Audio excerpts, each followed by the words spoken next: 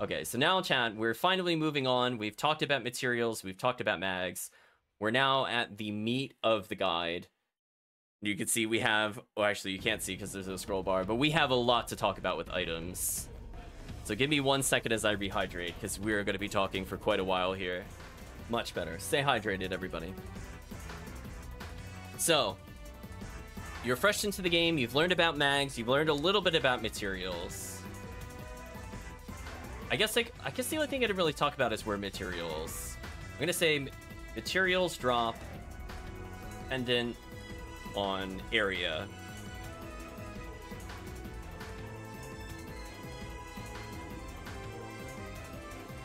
As random drops from all sources. Just put a little note there for people that aren't familiar with materials. So, items.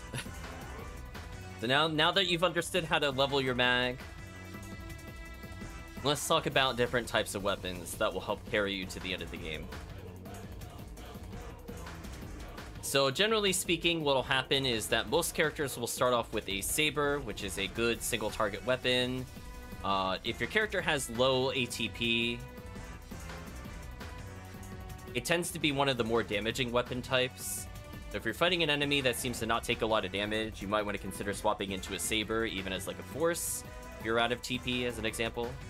One of the life-changing item types for rangers is a shotgun. Please get a shotgun. It makes the game so much easier. I can't emphasize this enough, chat. It is so, so imperative you find one. I don't recall if you could get one in Forest. I'm sure people that run the game from vanilla over and over and over again can say when you get it.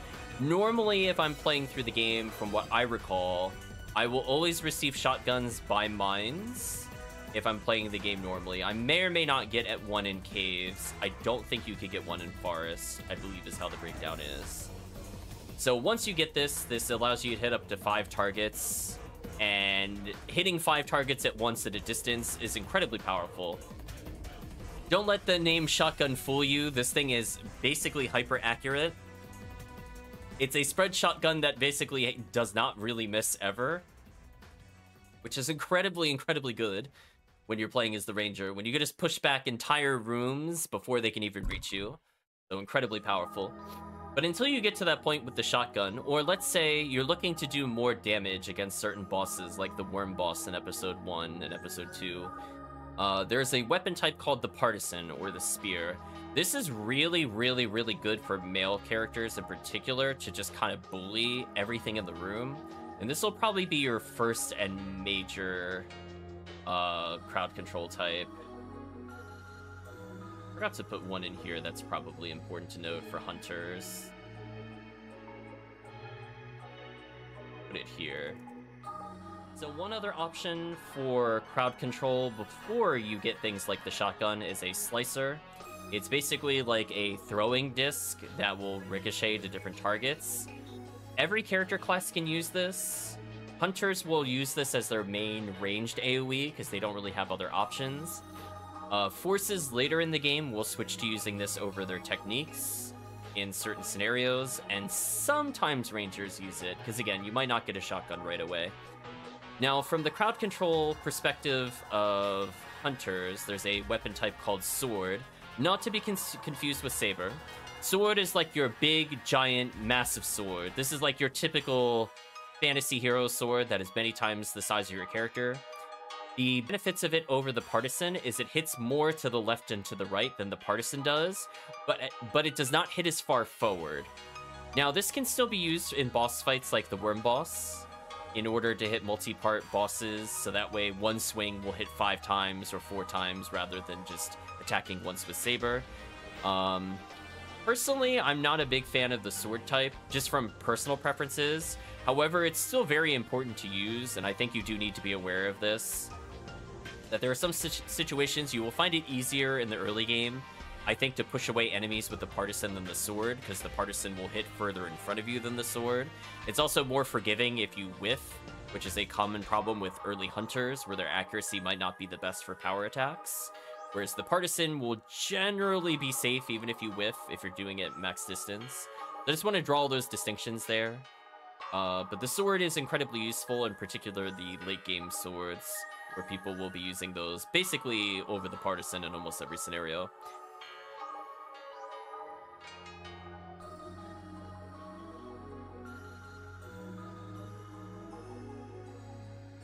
I'm gonna make one one note here. So, regardless if you're playing a ranger, a force, or a hunter, most characters will end up with a pistol at some point. But this is your only real consistent damage option as a hunter. And unfortunately, a lot of bosses in this game, you are not able to melee for long stretches, if at all. So please bring a pistol. If nothing else, if you're playing a Hucast or a Hucaseal that has traps, you can use that pistol to trigger your traps sooner than normal.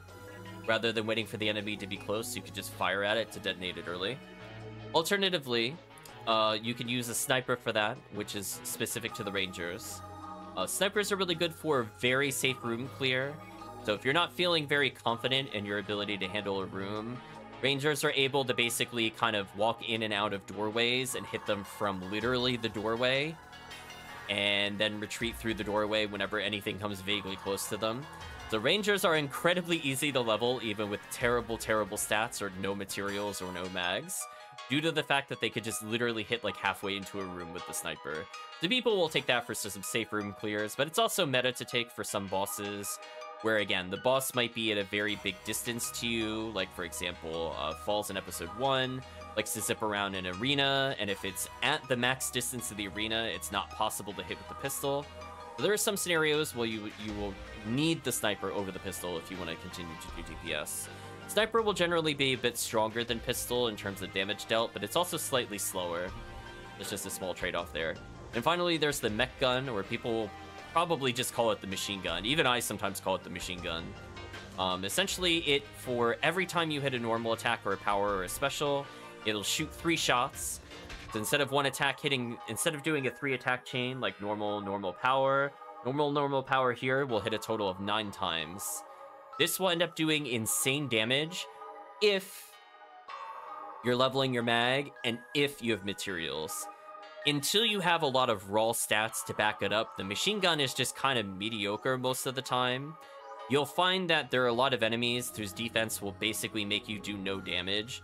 So where you might do like 80 damage with the sniper, you might be doing as little as like 15 or 20 with the machine gun bullet, and it's not as safe to use.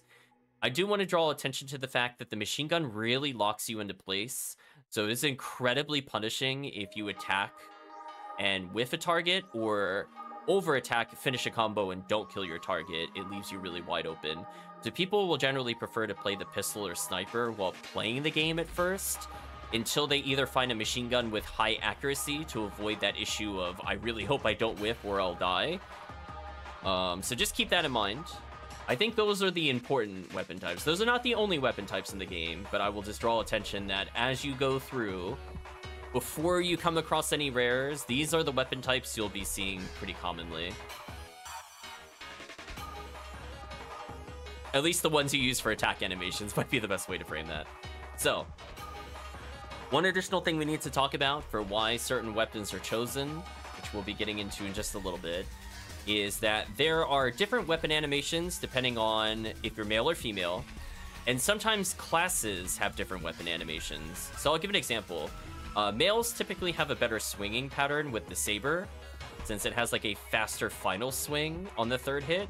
So it's a lot easier to do like like normal normal power and then retreat than it is for the females to do. However, you might notice that you might enjoy the female partisan animation a bit more than the males. The males, you might enjoy the sword animation more. Again, it's very much, you kind of just have to play around with it to an extent. But I'll draw out some ones that are probably more well known and are, I would say, character defining, whereas some of them are semi subjective.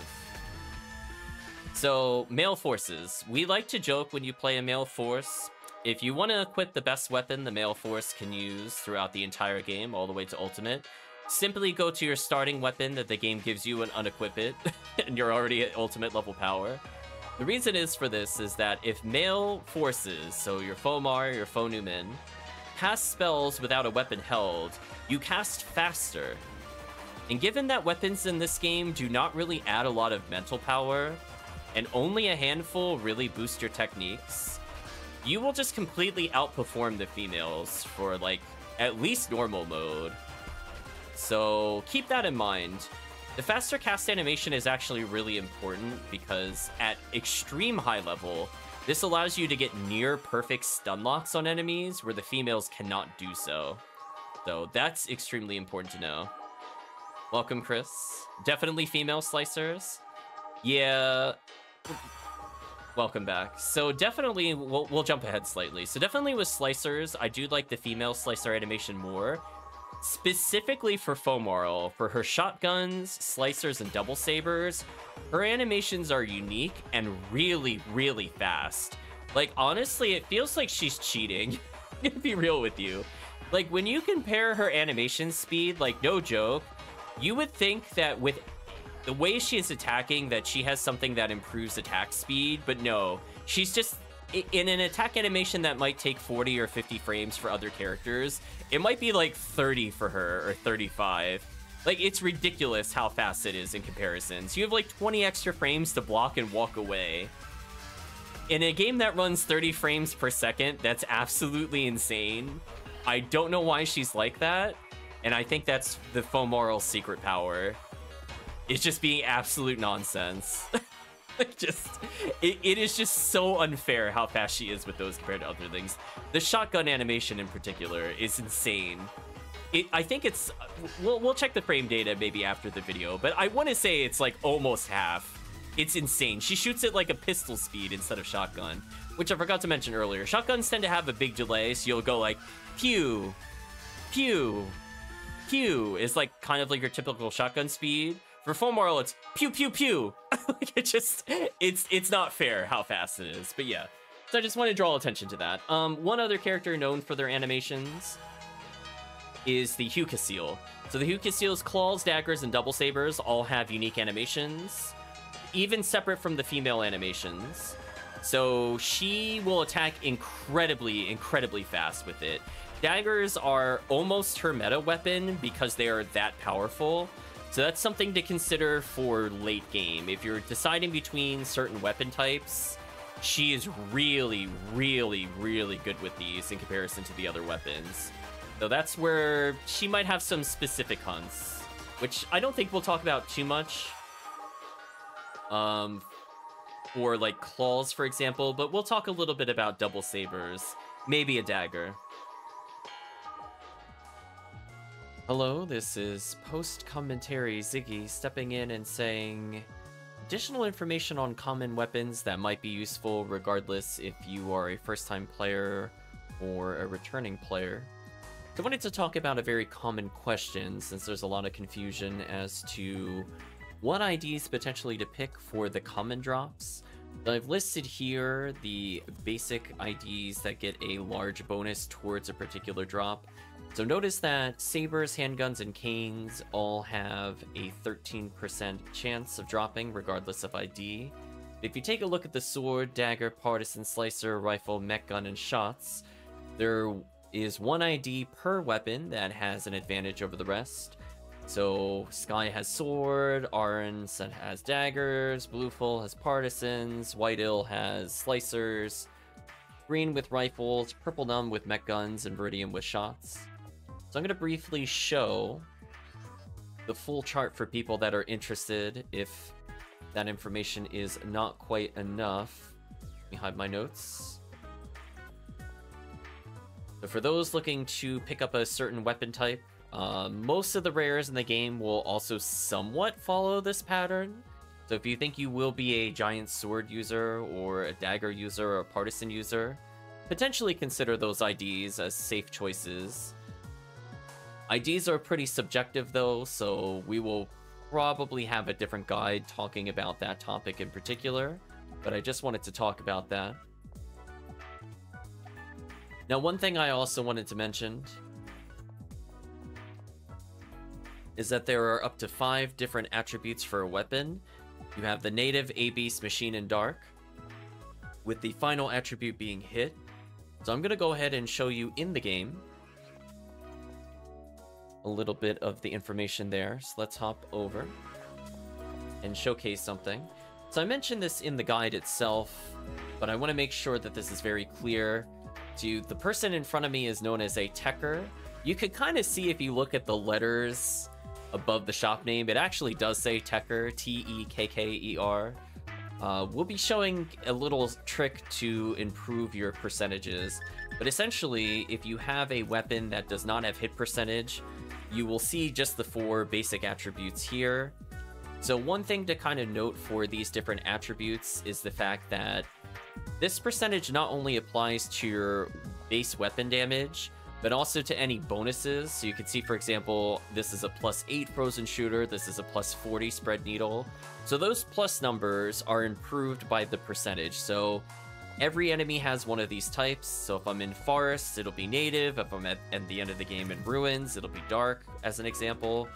Um, and the grinder bonus you have will get multiplied by that in addition to the base strength of the weapon if you were to look at the a wiki or an item resource guide, usually it's the lowest number, I believe, is considered the base or minimum ATP. So if you see a weapon has a range of damage, it just means that that low number is the thing that gets multiplied.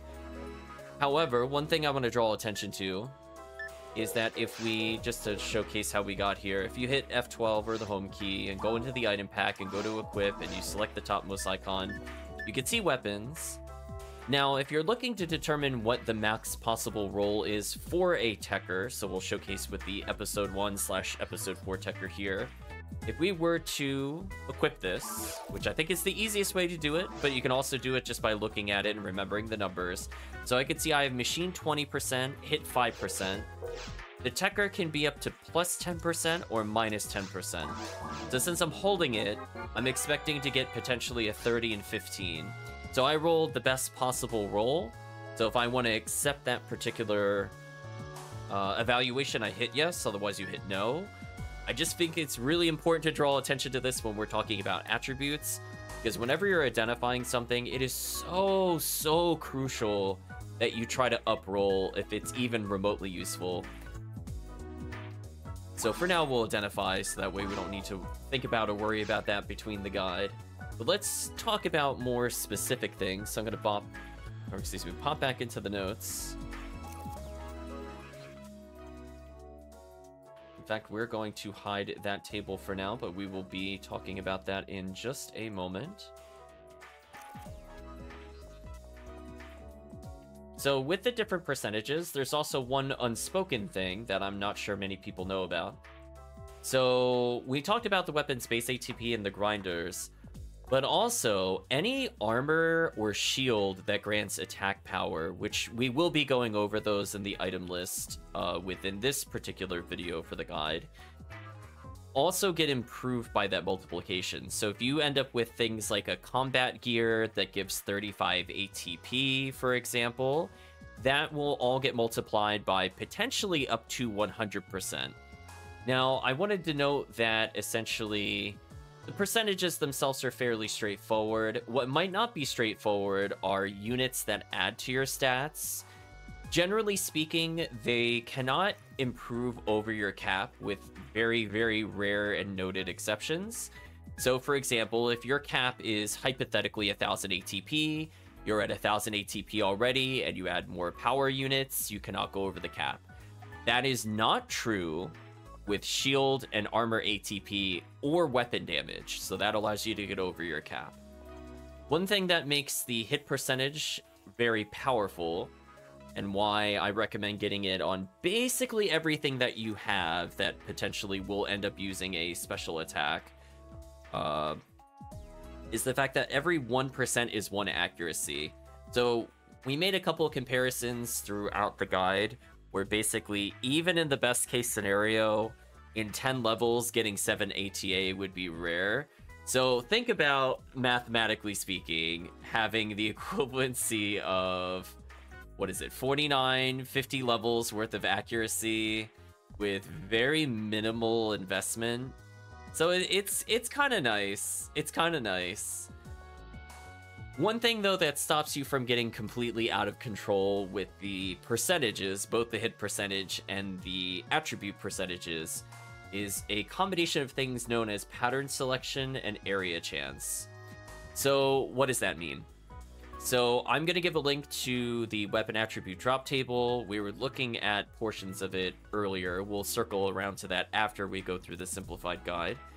But essentially, to break it down, is the game will decide that depending on the difficulty and location, there is a natural cap to the highest percent modifier you can find. So, for example, in Forest, you will only find one attribute on a weapon, and at most, it can be 50% before identification. As you go further, roughly every three or so floors, roughly every new area, you're either going to add one additional attribute or you're going to improve a prior attribute. So, for people looking to do things like box runs, or you're looking to get common weapons, um, it's very much anticipated that you go to the endgame area, not necessarily for the rest of the item hunts, but because that actually does make a big difference on the potential rolls on a particular item.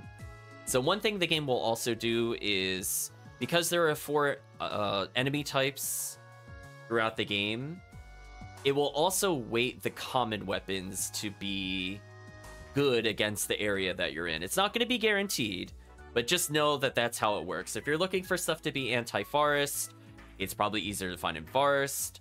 Or if you're playing areas with mixed IDs, those mixed IDs will generally still show up within the drops of the common weapons.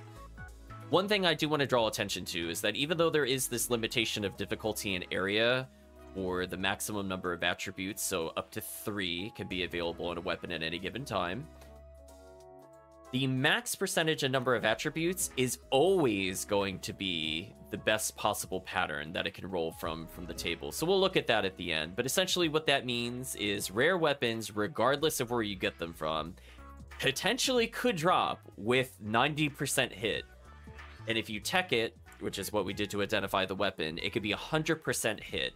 So I just want to draw extra attention to that, that even if you're getting a weapon on normal, hard, very hard, it will still potentially outshine everything on Ultimate if it is a decent carry weapon. So to draw attention to that. So I list here, for those that were curious, the rough odds of rolling hit percent if you do have an attribute. Notice it's pretty low, so it's somewhere between 1 to 5% of the time.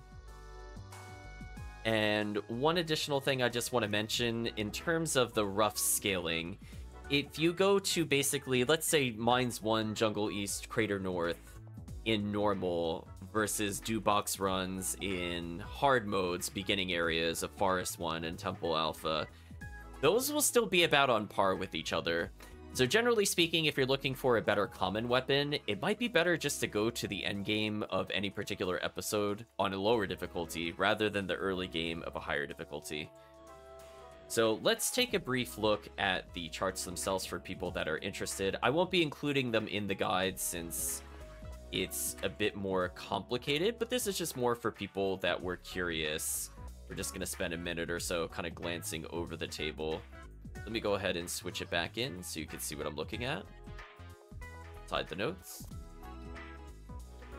So for example, if we're looking at the potential tech rates, we're not really going to cover that within the guide, but just know that you have a higher chance of stuff being required to be identified, which is good in this game because it gets you a higher bonus. Just know it generally scales about 1 or 2% per floor. From the standpoint of the area percentages, we could see, for example, Forest is really heavily weighted towards native. The endgame area for episode 1 is heavily weighted towards dark, since those are the only enemies that show up. Just those kinds of common examples.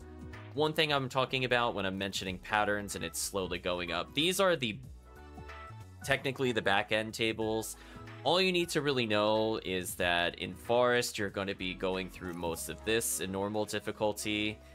And the higher up you go, the better the starting pattern. So it isn't until you get into very hard mode that you will get the best possible drops of uh, lower seabed and tower. So all three attributes, in theory, could roll for triple 100s. So keep that in mind that you won't even see from a common weapon perspective really high hit percentage until you are at least in very hard seaside. So don't don't hold out for 90 something percent drops prior to very hard mode or even honestly most of ultimate.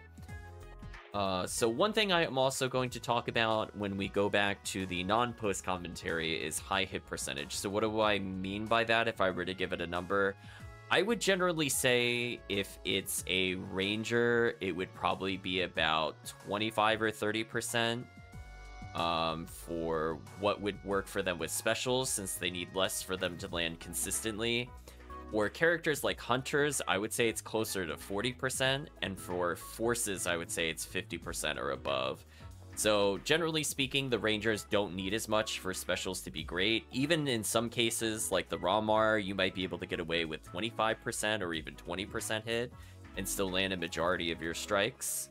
So just keep that in mind that it's somewhat based off the class, but if you hear me talking about weapons with hit percentage, it's slightly based off the character class that you have, but generally speaking, the higher the better. So one more thing I just want to mention that is also important to know for more when you enter Ultimate than I would say your journey from normal to very hard is if you do happen to get a weapon with at least 50% hit or more, there's actually several meta endgame weapons that potentially look at your hit percentage and or overall attributes. So I do want to denote that there are some items in this game that require a basic common weapon and you basically hold on to that weapon with the character class that can use it of a certain level and then you consume the component item associated with it. And when you do that you copy all the attributes from that basic weapon over to the new ultimate rare so I'm going to point out the names of just five items. I'm sure there are more, but these are the ones I was just thinking of offhand that I think were worth including uh, for the discussion purposes. So, very, very meta endgame item. Dark Flow is the giant sword with the wand, which doesn't necessarily benefit from hit percentage as much as it actually benefits from uh, potentially things like machine percentage as a backup for uh, things like Vol Opt in Mines. Dark Meteor is another great example with hit percentage. There's also two, I would say, I'm going to call them off meta. They're not going to be considered best in slot for basically any character. But for people looking to explore either the utility or the gimmick of the weapon, you have Rainbow Baton and Egg Blaster. So I just want you to be aware of just a couple of options, both in the meta non-meta sides of things, that if you have a really high hit percentage, and I'm talking really high, like if you somehow get a 70% and 80% in one of these weapon types, please, please do not sell them. They can end up being they can end up becoming one of the most powerful things that your character has, depending on your character class. So keep that in mind that even if when we get into the weapon specials, if the hit percentage is really good, consider keeping it around just for uh, potential future items. So just be aware of that. So I'm going to briefly talk about weapon specials. So believe it or not, for people that are not familiar with the game, some of the best in slot weapons, as in the best you could possibly hold on to, uh, in the game are random unidentified weapons that have a weapon special. Not rares, just random floor drops. So I'm listing out what I would consider all of the specials in the game and why they are good or why people use it. That was going to confuse me visually. So the big the big three, the ones that are run definingly powerful if the weapon has a hit percentage, Charge, Berserk, Spirit. What do these do? Well, Charge makes you pay money in order to use the special attack, but if it lands, massive damage. Berserk, instead of charging you money, costs you health, which is risky. Spirit costs you TP, which is annoying to refill, but is still very powerful. Cast cannot use it because they have no TP. Yeah, so if you have a high hit weapon of one of these, these will honestly be better than a majority of the rare weapons that you find. I'm not going to say all of them, and I'm definitely not going to say for ultimate level weapons. But honestly, like a charge mech gun in particular is just disgustingly broken. And multi-hit slicers like a Berserk Slicer or a Spirit Slicer are all extremely solid options for clear. So we'll talk about how to get some of these guaranteed 50 hits later on in the video for Ephinea. For other people, you have to just kind of hope and pray, I would say. Because there's not there's not a super consistent way without having access at least to episode 4. Yeah, yeah, charge is literally pay to win. Um, another one that's really good for multiplayer are Devils and Demons. What do these do? If you land a shot, it reduces them to a quarter or half of their current health. You flip that. Demons is stronger than Devils. That's why I want to be very clear with that. So it also allows for something called the Elemental Glitch, which we'll talk about. This is something I don't think we've really showcased much on stream, since we skipped a lot of our early leveling. I did a lot of that off stream. But there are some very interesting glitches that are abusable with this. So we'll get to that in just a minute. I don't think a lot of people know about this. I think it was only talked about in the forums for Ephinea maybe this year. I I think it's something people observed but didn't understand why it happened. It wasn't until more recently it started getting talked about. Okay. One thing I want to do Sorry about that, chat. I just want to make sure that this lines up in the notes to not confuse people. So probably the next most important one to get. So once you have your damage dealing ones or your I reduce you to half or quarter health, um, people will probably go for uh, the arrest series or bind hold season arrest. So depending on what keyword is on that weapon, it'll increase the percentage of it working which is something that's kind of annoying to have happen. It's not always consistent, unfortunately. Uh, but people will use this to shut down some mini boss kind of enemies in episode one and episode four in particular. So it's kind of important to have. It's not needed when you're going through normal mode, let's say, or even most of hard mode. But honestly, very hard and ultimate, you're going to be abusing these specials all of the time. If you want to make life way easier, I really, really recommend you pick one of these up at some point. We'll talk about a way you could get those towards the end of the item list. So just keep in mind that for now. If you happen to get a high hit percentage one of these, it's generally good. But one thing I, I think I skimmed over, sorry. Uh, if you don't have a rare weapon version of it, if you have, for example, an arrest slicer, unless it's a rare slicer, it's going to cut the activation rate in by a third. So instead of 80%, it'll be a third of 80%. So if you don't want to have it reduced, for example, it's very popular for Charge Berserk and Spirit Mech Gun to exist because it ignores this. Things like pistols and snipers are really great for devils and demons, as an example, or even arrest. I just want to draw attention to that. It's something I kind of skimmed over by accident. Um, probably more important for player. So chaos is kind of the same thing. Instead of paralysis, it's confused. Just be aware that people use certain units to boost the status chance of it working. V501 and V502, I think, are not in the original PSO. People playing on GameCube, that will not apply to you. However, when you're making new characters in particular, and you're able to get one of these units, which we'll talk about how to get in a little bit, uh, this series of Dim, Shadow, Dark, and Hell is really useful for clearing Episode 2 in particular. It unfortunately requires a lot of game knowledge to know what enemies have a weakness towards it. So I recommend if you haven't gone through and added add-ons in Ephinea that you do that as soon as possible, or get ready to learn per difficulty what enemies you could very easily insta-kill, which I don't recommend as much. So this is probably a must if you're playing episode 2. If you're just starting the game playing episode 1, it's not as relevant. However, that does open up options if you start a new character over with a Hell Ray Gun, let's say for example, which is a type of pistol. Uh, it does open up new leveling options that you would not normally ever do with a fresh character, since it makes the game a lot easier.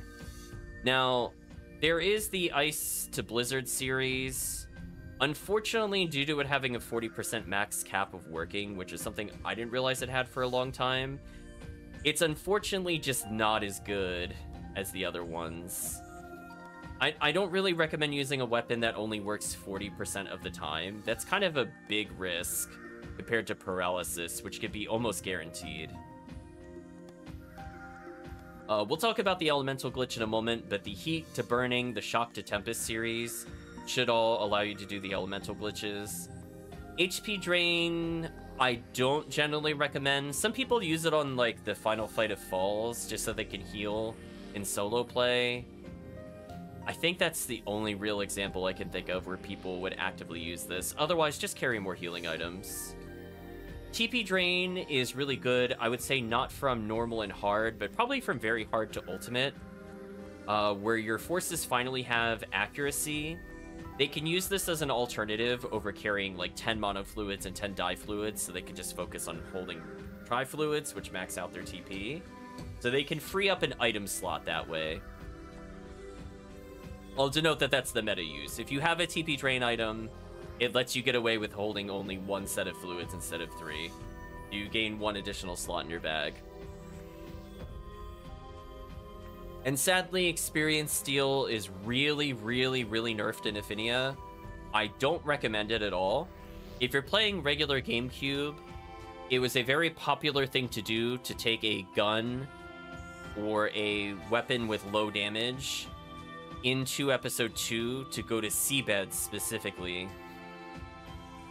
and where there were the robo boxes that spawn the little robot sentries that fight you, you would just XP steal on them over and over and over again and do like literally almost no damage to the boxes. That way it would be like every every combo more or less would be a kill and the enemy wouldn't fight back because the robot box doesn't do any damage directly.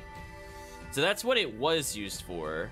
In Ephinea, I don't think it has a use, and it's generally just much worse than other options. If you're at the point where you have a good XP steal item, I still don't think it's worth using, to be honest with you.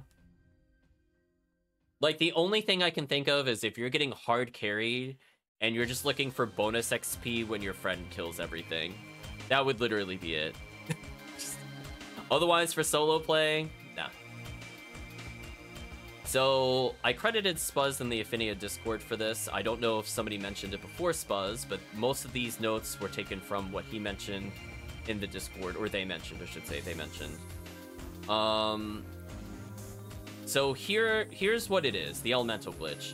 So normally, the elements just do very low damage. They're kind of disappointing.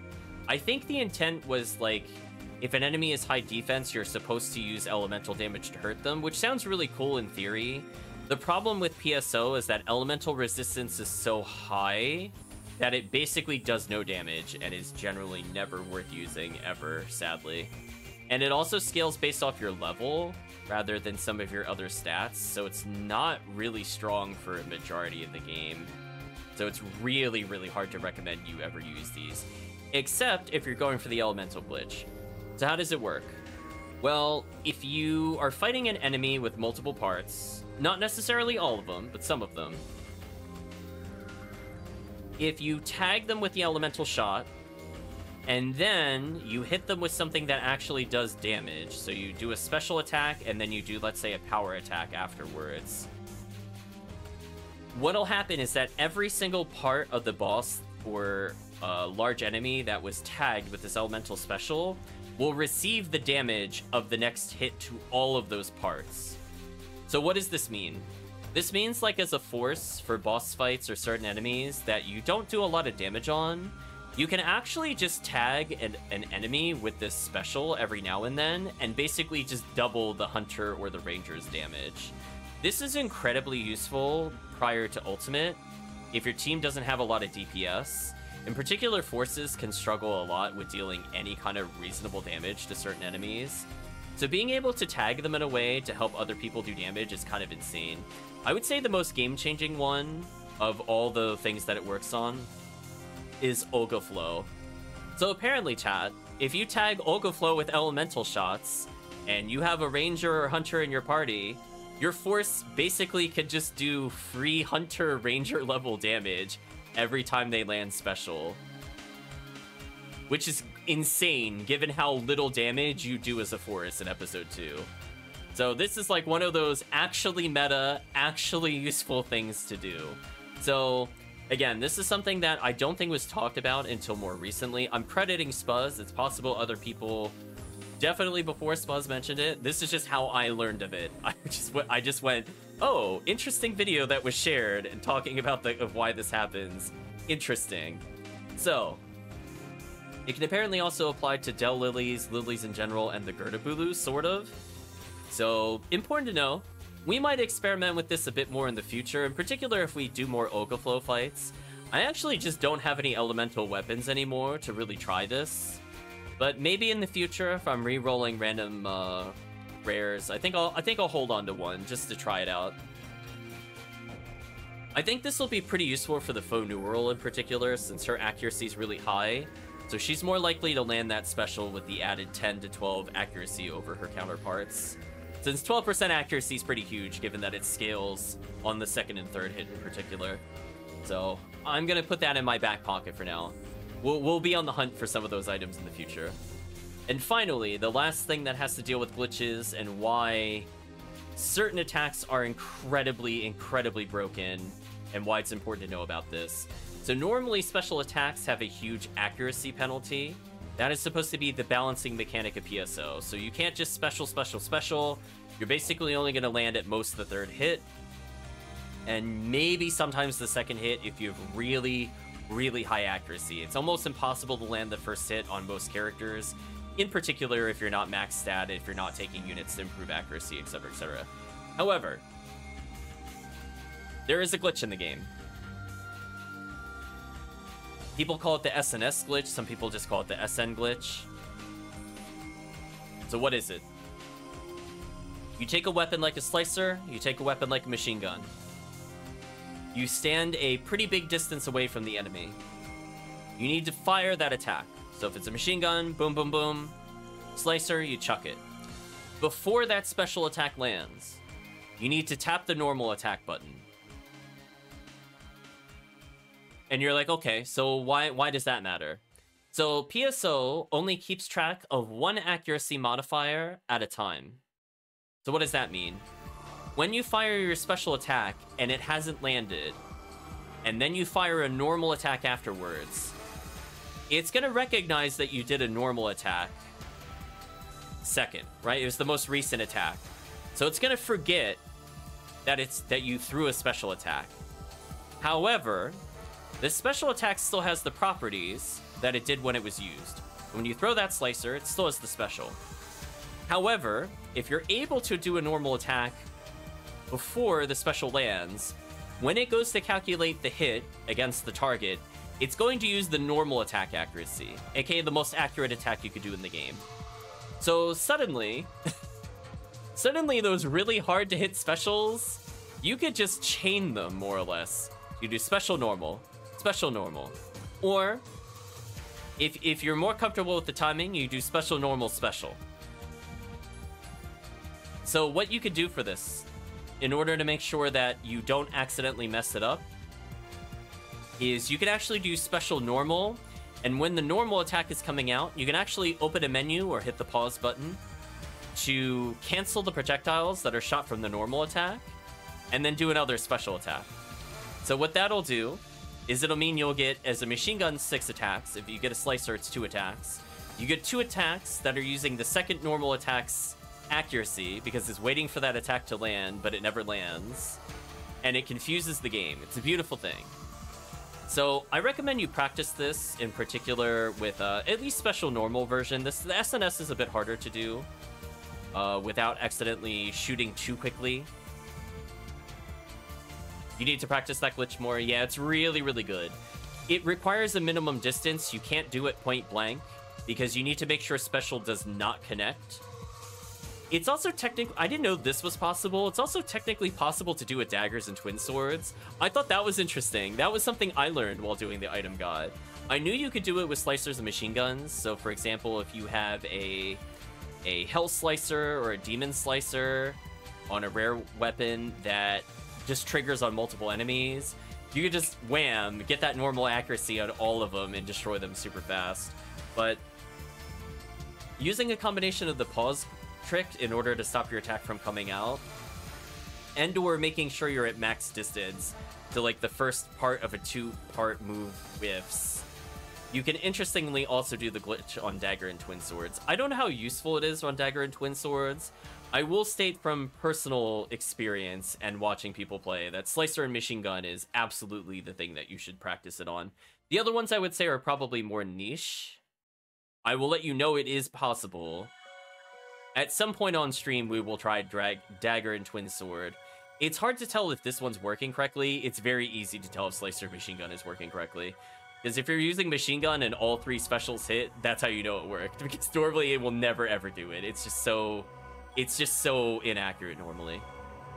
So anyway, those are just going through some glitches that are good to know and why certain things are meta. So you have a little bit of an understanding of where we're going with what items I'm going to recommend as you play through the game. So, let's talk about item etiquette. So these are things that you need to think about when you're playing the game in order to do better with your party members and also just get into the right mindset of PSO. So I want you to get into this item item mindset with uh, every time you pick something up, you should ask yourself a series of questions. When you pick up a random unidentified weapon, is it a useful weapon type? So let's say you have an unidentified ray gun and it has demons. Then you want to continue. If it's a machine gun with demons, you skip it. So you don't even bother looking at it, you just know it's trash. I'm just telling you straight up, you have to get into this mindset for late game. So then you look at the items. So it's like, okay, you have a demon pistol. Okay, does it have hit percentage? If the answer is yes, you might just end up using it right then and there for like the rest of the game. Because, like, honestly, these are literal, literal potential endgame items. Please make sure to check to see if it is hit percentage.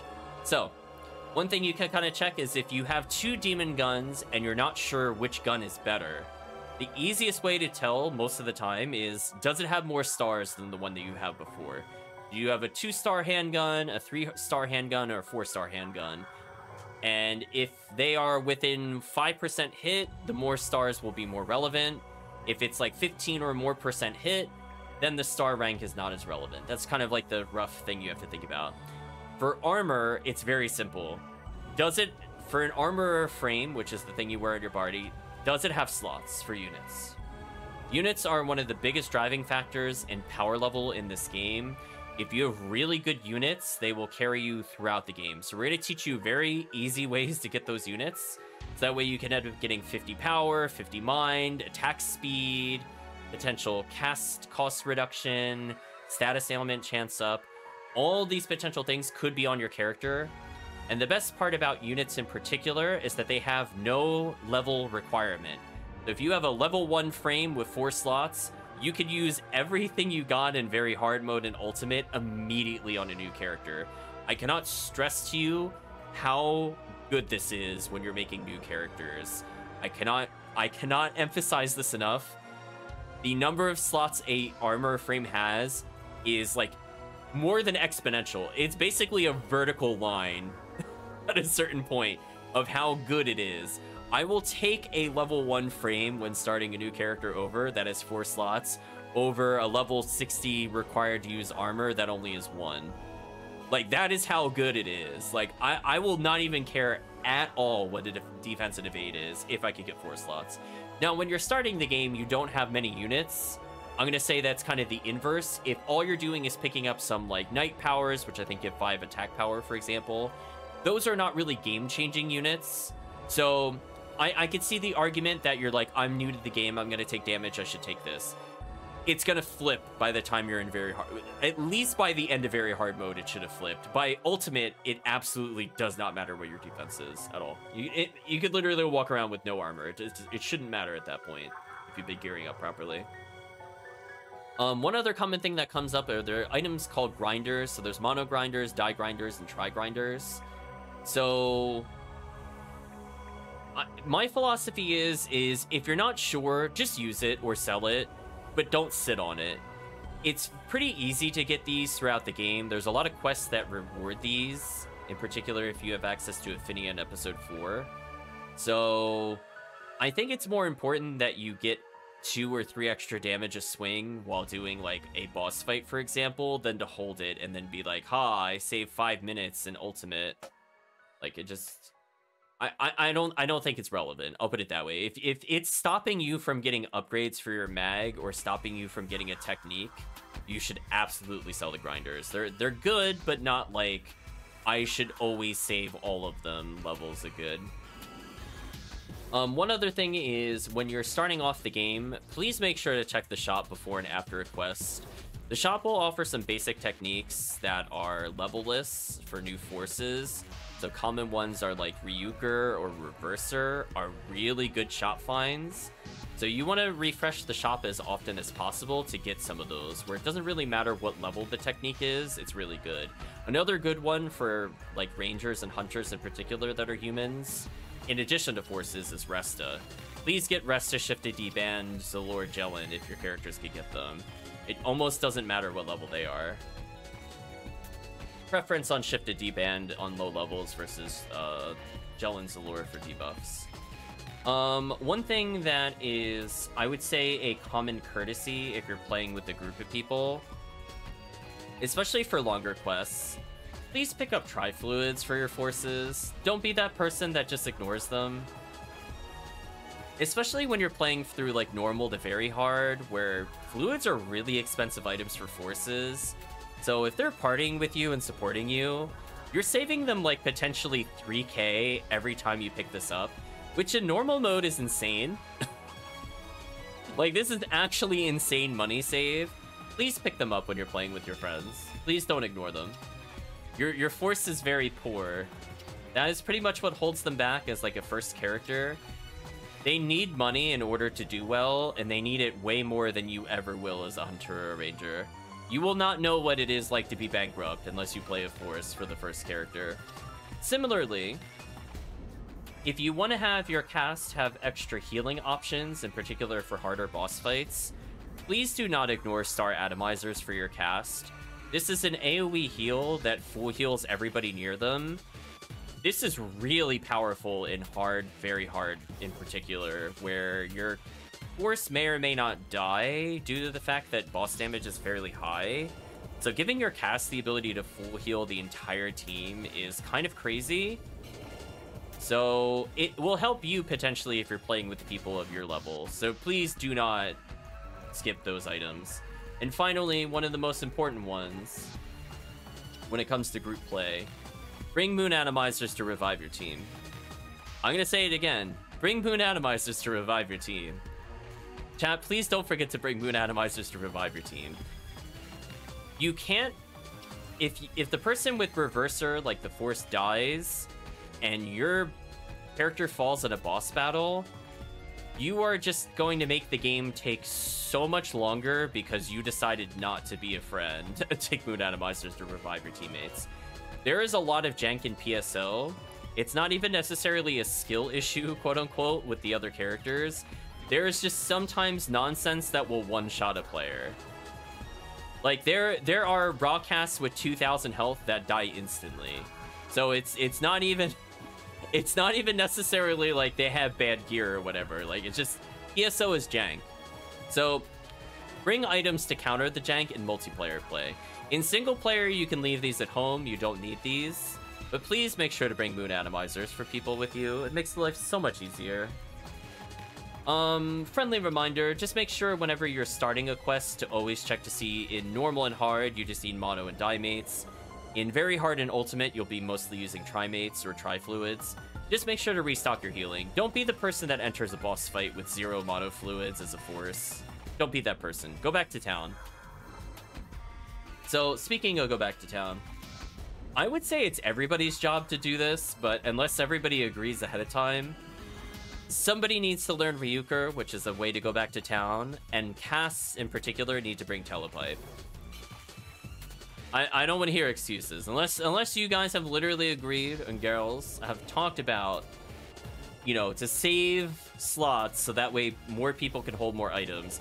Unless that is the specific discussion that you've had with them, There is no reason for people not to learn Ryuker. No reason not to bring telepipes. Don't be that person. Don't go in the middle of the quest and realize, oops, I'm out of healing resources, and oops, there's no way to go back. Don't do that. Um, finally, one thing with item etiquette, and this is important, especially if you're giving items to other players. Please make sure you check to see what the original bonuses of a weapon are. So I'll give an example. You might have an unidentified gun that when you look at it, it says 30% native. If you identify this, you could get up to 40% native or 10% more than what it exists. Don't identify it and give them a 25 native or a 20 native instead. You're basically just ruining the weapon due to a... I'm going to call it an annoying mechanic. I don't particularly like this mechanic, but please be aware. The Tekker, the reason why you can reject his identification, is that you can get up to that 10% bonus. So please make sure that if you find a good item for your friend or you're trading between people, please don't identify it at the base rate, because you're making the weapon just much worse than it should be. And this is important too for hit percentage. So for example, if you find a 40% hit, you could make it as low as 30% hit, which is arguably not worth using on certain specials, or 50% hit, which is amazing. So please, please make sure to check the original percentages on a weapon before you identify. Now, if you're just looking to junk it, it doesn't matter. Just identify once, doesn't matter, sell it, not worth re-identifying. Anyway, that's it with item etiquette. So before we go into the massive, massive list of different ways you could get items, we'll talk about some very quick honorable mentions, where we will not go into massive details for them. Mags. We mentioned before, Mine 1, Mine 2, Jungle Area East, Mountain Area. If you're playing Ephinea, this is how you find the other color mags. I've listed all the difficulties here. Note, I also put ultimate mode because a lot of the times if you're doing a box run, you kill very little to low enemies, so it doesn't really matter what you bring with you. Just note that. Just note it. If you want to find those rare colors, that's where you do it. Otherwise, just create another character with the color of your choice, move that mag via the bank or through trading to another character to receive that item. Uh, we mentioned grinders a bit earlier. These drop as random drops everywhere. Technically, on lower difficulties, enemies can drop grinders, but this is not the way that you find grinders. Just play the game. You'll you'll end up with a lot. Similar to materials, just play the game. You'll you'll end up with a lot. If you're fighting, you're not getting materials of a certain type. It probably just means that that specific floor does not drop it. So some will drop a lot of power, some will drop a lot of mind, defense tends to be shared, and luck tends to be very rare. This is like our general rule of thumb. Photon drops. Photon drops technically drop as guaranteed drops on normal mode in some areas, but that's not how you farm them. This is another one. Just play the game. You'll end up with a lot. Uh, I think in the future we'll try a series of quests, and we'll have a separate video uh, discussing the best way to get photon drops per second, which just means how fast can you kill a lot of enemies is the best way to translate it. Uh, one, one other item of note is Scape Dolls. Again, technically it drops as a rare for some enemies in normal mode. There are other ways to get the Scape Dolls. You will get them naturally as random drops in boxes. What this does means is if you die, you get revived, you recover full health, full TP, and if you're a cast, you get all of your traps back. So there's a lot of situations where you might die on purpose to get the full refill. In particular, cast getting the trap recovery is pretty huge. So just keep that in mind. You'll pick up a lot of these throughout the game. I recommend just storing any spares in your bank if possible, so that way you can hoard up for the harder areas. You can also sell them for money. They're, they're worth an okay amount. Again, you'll be requiring literally hundreds as you play the game. Um, I'm not going to go into detail to get all of the different combinations of amplifiers and barriers, which are box hunts that I would recommend prior to Ultimate in particular. We're basically only going to talk about how to get the strong amplifiers later. So for those that don't know what I'm talking about here, essentially there's a force item that says if you have a, let's say a red barrier, which corresponds to red spells, and you have an amplifier of Rafoie or Gifoie, which are the advanced tech and the intermediate tech respectively for fire, and you combine them together. You will end up with something that boosts the damage by 30% of a specific tech, or if you use one that is an amplifier of red, it generically gives 20% to all the techniques. So obviously a 20 to 30% bonus is pretty huge, um, given that defense is not super, super relevant as you play the game, especially as you get more used to the game.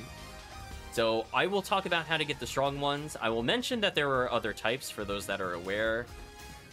But honestly, I'm gonna be I'm gonna be real 1000% honest with you.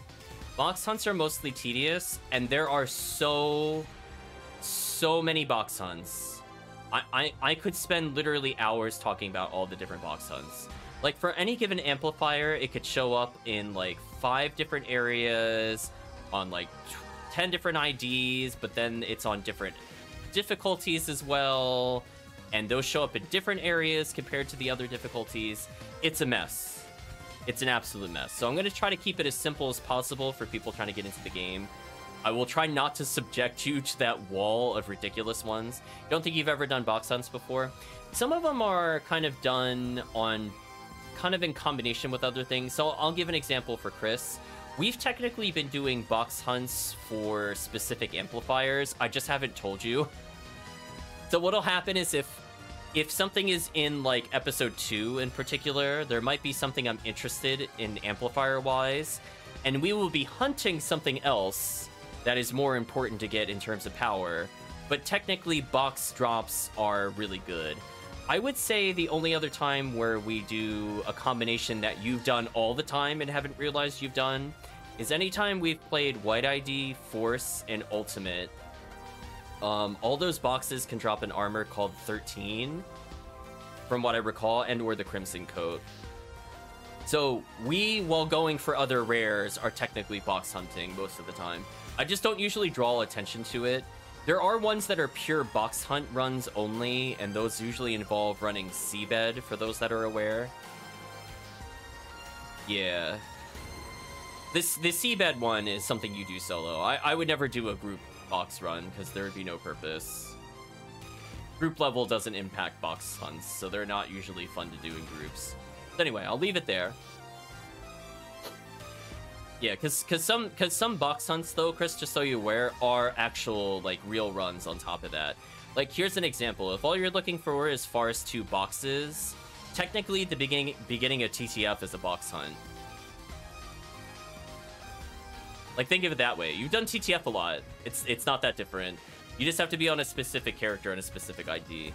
Which is kind of funny when you think about it. You kill one enemy and then you check the five boxes reset, that's it. Just over and over. It's very tedious, and that's why I don't super recommend it for newer players. But for people that are looking to get that edge from very hard to ultimate, these are the kinds of things you want to go back for.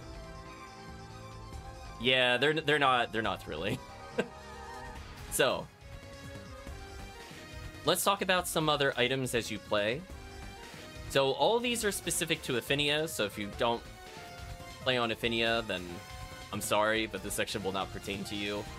So there are things called event eggs that drop during the Easter event. We'll be talking about later how to cash them in with a quest called the Egg Shop. So stay tuned for that at the end of our video. We're not going to cover quests. We're only going to cover shop quests specifically at the very end of the video. Um, but essentially, these can net some really awesome items. Halloween cookies are needed for entry to Halloween quests, which give a 100% boost to rare rate, XP, and rare monster which is extremely good for some late game hunts. I actually recommend you don't even use cookies at all until Ultimate, to be honest with you, because they are just so powerful and so good at getting items that you need from specific areas. Um, Christmas presents, if you get them, you should use immediately. You get an item based off your difficulty. Simple enough. Um, there's no real strategy to it other than farming high numbers of enemies. And the Christmas event is active. And finally, we have the badges. So there's bronze, silver, gold, and platinum. Bronze you can get even if you're playing as a fresh character level 1 during the anniversary event, which is... Actually, can chat fact check me when the anniversary event was? I did not write it down. But usually it's in the fall right before the Halloween event. So what'll happen is that bronze you can get a normal. If you manage to get to very hard or ultimate, you get silver. And if you get to Ultimate, you get Gold and Platinum. Platinum are like the uber rare items, like the basically not best in slot, but definitely the hardest to acquire items in the game. So if you get that, You save a whole bunch of time with it. And essentially, these badges can be traded for materials, items, etc. Oh, I'm gonna have to skip this song. Wow, we have been talking so long, I actually went through basically the whole soundtrack. This is gonna be quite a video. Strap in, chat. The 5th of August, the 5th of September was where it was active. Thank you, Chris. So we are not going to focus on those for now. Just know that just playing the game normally during these events will get you these items. And just be aware that a majority of these, with the exception of the Christmas present, need another quest to use. Just be aware of that. From the standard gameplay, which would probably be available in more servers, during like Christmas, Halloween, and Easter, there are also Christmas presents not to be confused with present parentheses Christmas. I know, ridiculous. Jack o' lanterns and Easter eggs. These basically give you access to kits and cells, which we talked about before are used to level your mag. This would be the traditional way you would get these. Easter eggs also give you potentially joke weapons, so for people looking to collect very goofy items, this is probably the item of your choice. Now I'm going to talk about one of the most important things ever. I'm going to push the gamble agenda here. Realized that was slightly cut off. I'm gonna have to. I'm gonna have to leave it slightly cut off. Sorry. So I think from our standpoint, uh, what are what are the gambles? So if you play multiplayer, so in Ephinea you just select a normal game versus a solo play game. There is a man that stands outside the shop. Now, for a thousand Meseta, which is a little bit high in normal mode, but by very hard, a thousand Meseta is not very difficult to come across whatsoever. The video stuttering, stop that. Sorry, John. I got bothered because the music just like paused itself for no reason. Good job, YouTube. You did it. Let's try that again. So for as just a thousand in cash, which is not very hard to get towards the tail end of hard mode and most of very hard, and obviously definitely not in ultimate mode, you could get some of the strongest items, honestly, in the game that will hard carry you instantly. So this is regardless of what difficulty you're on, this is stuff you could do right now. I really, really recommend you check out the Coren's prize list. So from our perspective, there is the from Sunday. So keep in mind on Ephinea specifically, it swaps over midway through the day to the next day because it uses the Greenwich in which time, the GMT. So keep that in mind. So just be careful depending on what time. Just just check just check what day it is in the server. Check what day it is in the server. Um, but by default, for a thousand Meseta, potentially in your first 1000 Meseta, you could get a unit called the God Power, which adds 50 ATP to your character. So if you just spent, let's say hypothetically, between 100,000 and 200,000 Meseta, which is a tall order, I would say, for a normal mode character, but not so much for a hard mode or very hard mode character, you can end up with the equivalency of basically a fully leveled mag, as long as you have free open slots, and skip like 60 levels worth of power just by having money which is crazy. This is like actually bonkers how good this is for new players, especially if they're hunters or rangers. So early on in the game, this might be as much as doubling your power. And this is going to make the game way, way, way, way easier. Now I'm going to point out some other units that are worthy if you happen to get the alternate rares and the 1k gambles. Um, Cure Paralysis, Shock and Freeze, are all really great things to have. I would say more for Ultimate than I would say the earlier difficulties. As mostly, for example, the flowers that poison in Episode 1 are way more annoying in Ultimate mode. But these are things that once you acquire them will carry you in Ultimate. So these are things you might not use in every single run, in particular for lower difficulties, but having them makes the higher difficulties so much easier.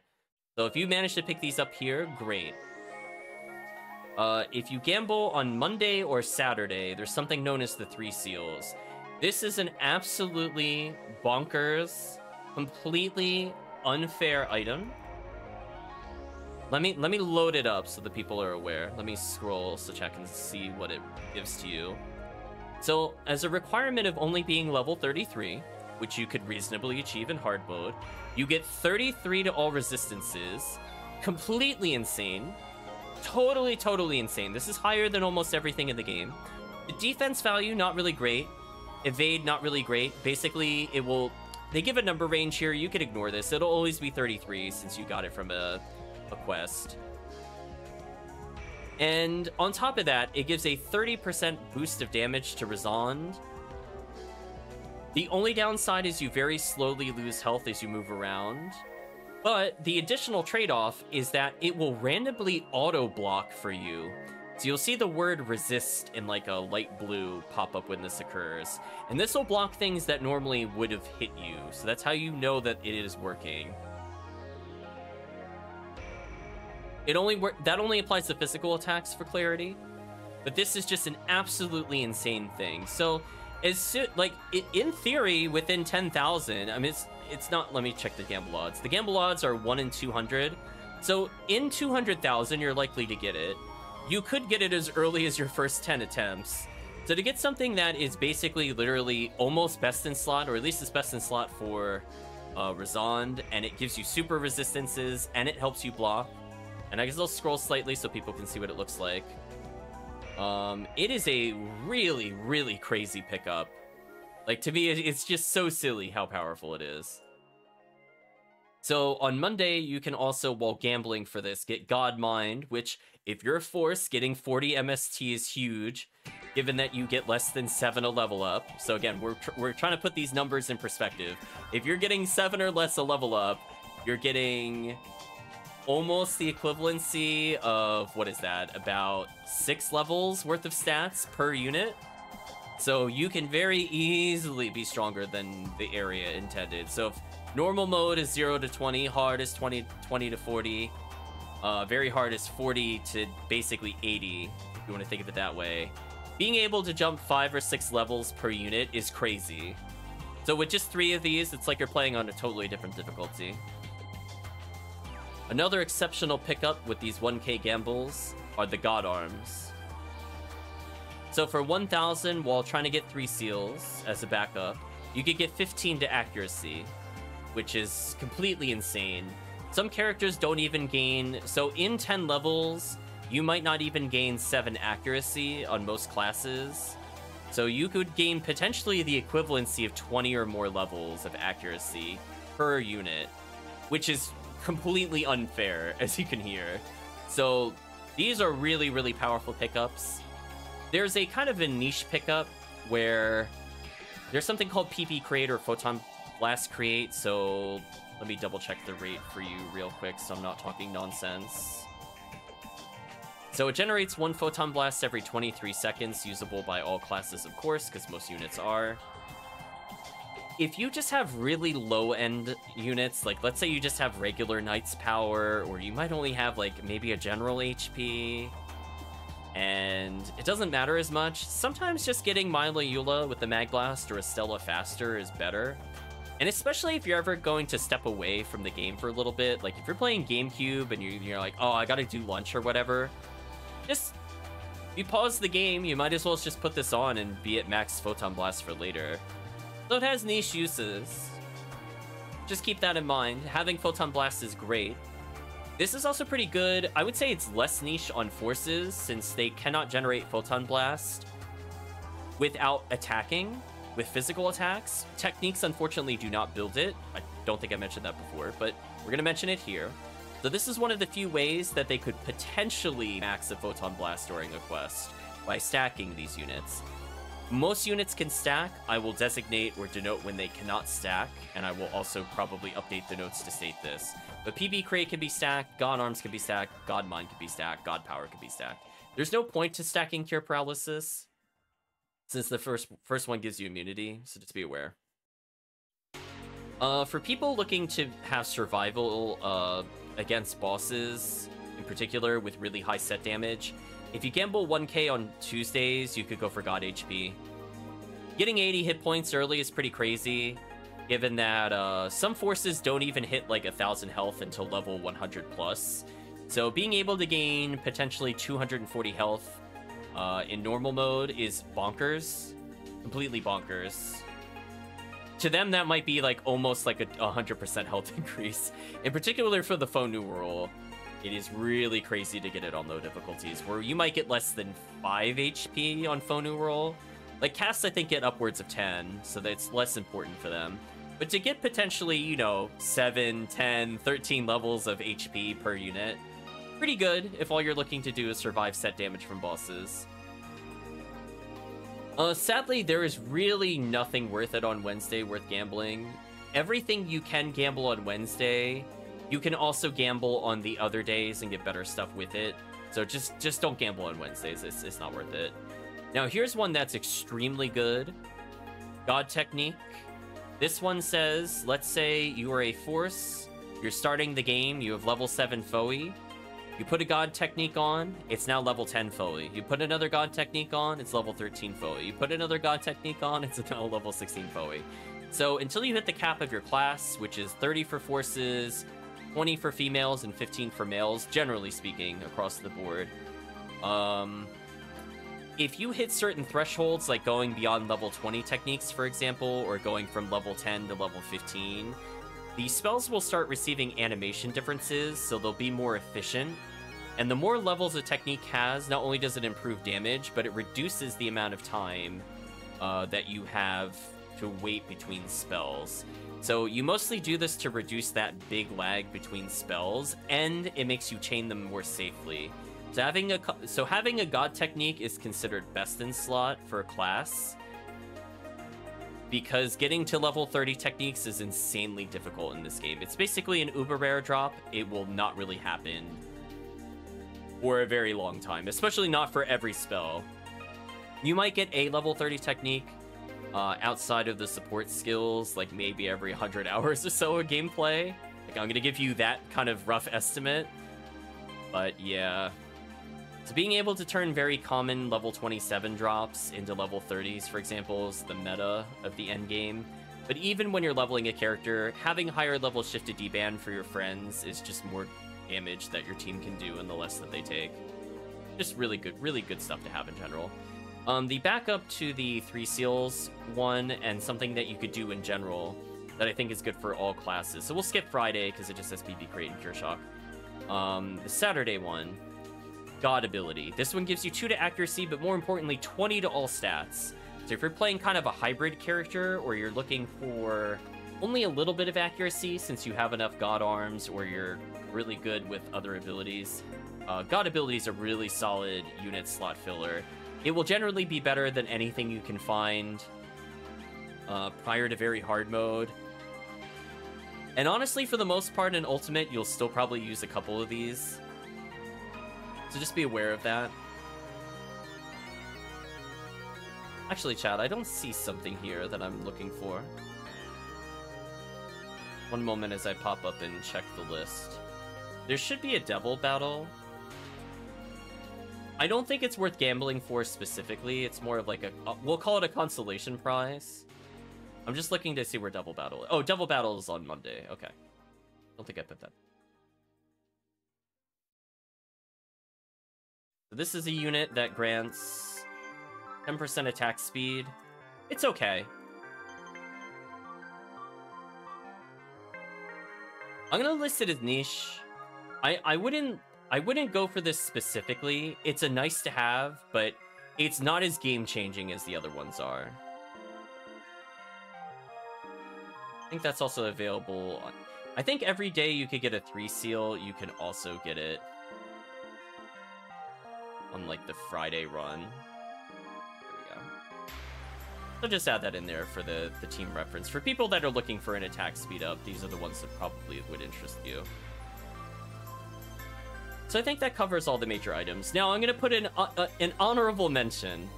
So if you're wondering what money is used for in the end game, for the most part on the Ephinea server, it's the 100k gambles. There's a unit called V101 that you could gamble on Sundays for 100,000 which is very, very expensive. I do not expect you to do this in very hard. Just honorable mention is it gives one and a half accuracy to your character, which you're like, okay, 15 to all other stats. And you're like, okay, well, that doesn't sound better than God ability. And then you read the next line 40% attack speed, broken. Best in slot, every character uses it, it's amazing. However, don't save up for one 100k gamble if you're starting the game. Please potentially save money to feed your mag, and then if you have a lot left over, then consider the 1k gambles. Because again, it, getting a 3 seals as a force at level 33 on hard mode is really great.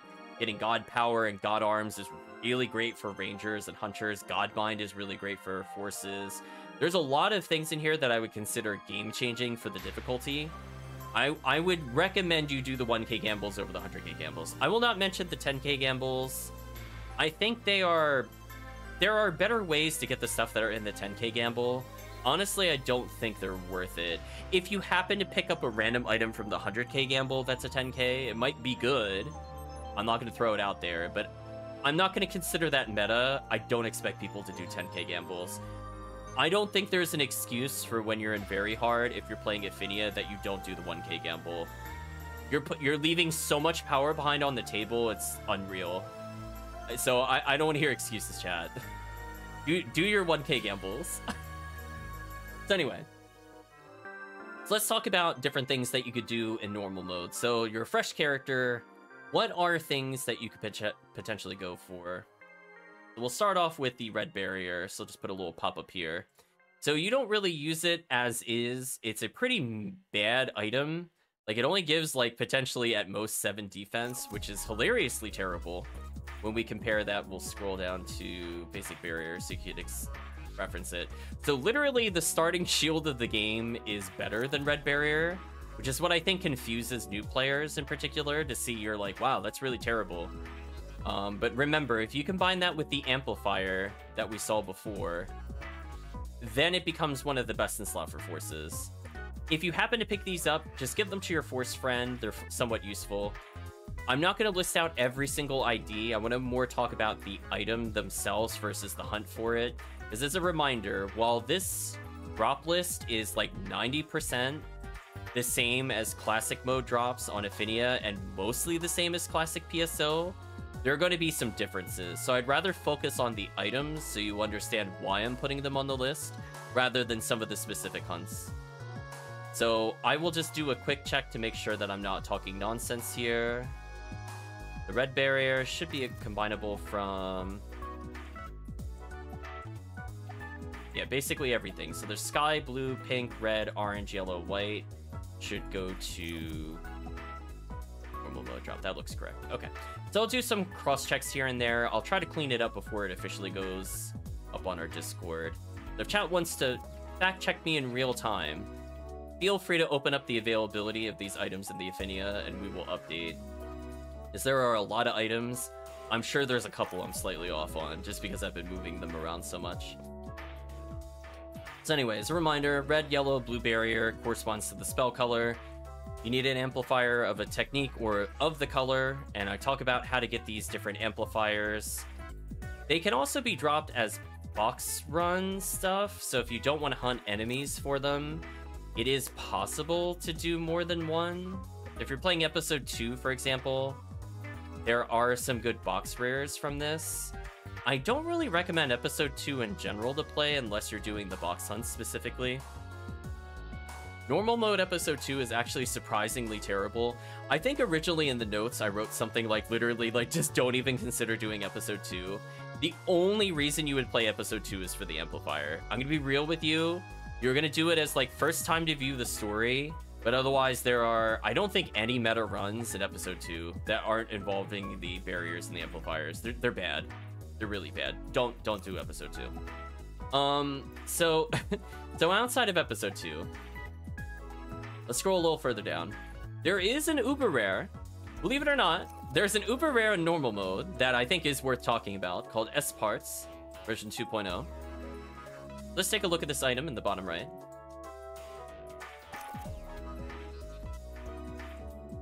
So not a very high level requirement. Level requirement is 17.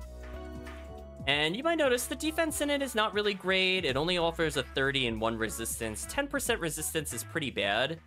Honestly, like you should be looking for 20 plus if you want like a solid barrier. Its real bonus, however, is this middle part. 15 accuracy. As we said before, 15 accuracy is the equivalency of almost 20 levels worth of accuracy. So if you happen to get this drop, which I will let you know, Chad, in Ver in Ephinea right now, which I believe is also the same in the classic server, Gilchics, the robots that love to punch you in episode 1, in the mines. They have a 1 in 10,000 drop rate. So this item is not going to happen very often. I want to I want to let it sink in. This is not something that is going to happen normally. I'm going to put this in here for the people that are just really really lucky and they just happen to be playing episode 1 and they're like what is this item? That's for those people. You can farm this item. It is really good. It is tedious to farm. So you could go, you could try if you're playing, you know, story mode episode one, consider maybe this ID. You never know, miracles could happen. And if you do, hey, you got a armor, or excuse me, you got a shield slash barrier that you're going to be using for the whole game. so, congrats. So I just thought I'd put this here. Now, chat, I want to draw attention to some particularly absolute trash drop rates, and we'll explain why I don't recommend these. I'm going to leave them out from the list going forward. So if you're wondering why you're like, oh, but you could get like M&A60 Vise and normal. No, no, no, no. There's a reason I don't mention a lot of these items. I'm trying to save you the headache. So we're going to go through the old adage of just because you can doesn't mean you should. They'll give a great example, Chad. So I I'm even going to ask this question to Chris. I'll let Chris guess the number. What do you think the drop odds are, without looking it up, in episode 1, of getting a Fire Scepter Agni? Now, I'm going to give you what you can get it in hard mode, which is something you should probably do.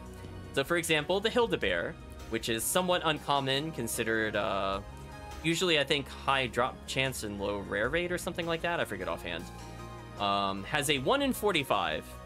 So, what do you think are the odds in normal mode of getting it from a Bulclaw or a Gilchic on Pink ID.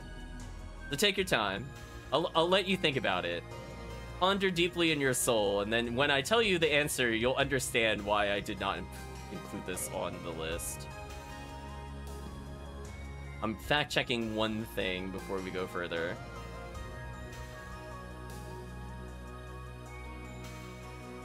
In normal, 1 in 2,000? Uh, that's actually too generous. that is actually too generous. If you had told me one, if for the Gilchic, one in 14,629, you would have been correct. So anyway, chat, this is what I'm trying to avoid in the list, and I want to point out this example to you, because if you don't look at those drop rates and you can see that Pink ID can farm the Fire Scepter Agni in that list, you are wasting your time. Don't even bother. Like, literal trash rare. You figured you went too low.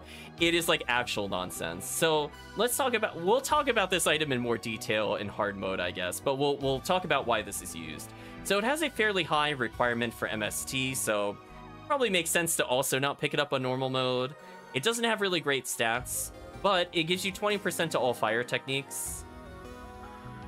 Similarly, we're gonna play another game, since I want Chad to go through the same amusement that I did while talking about these.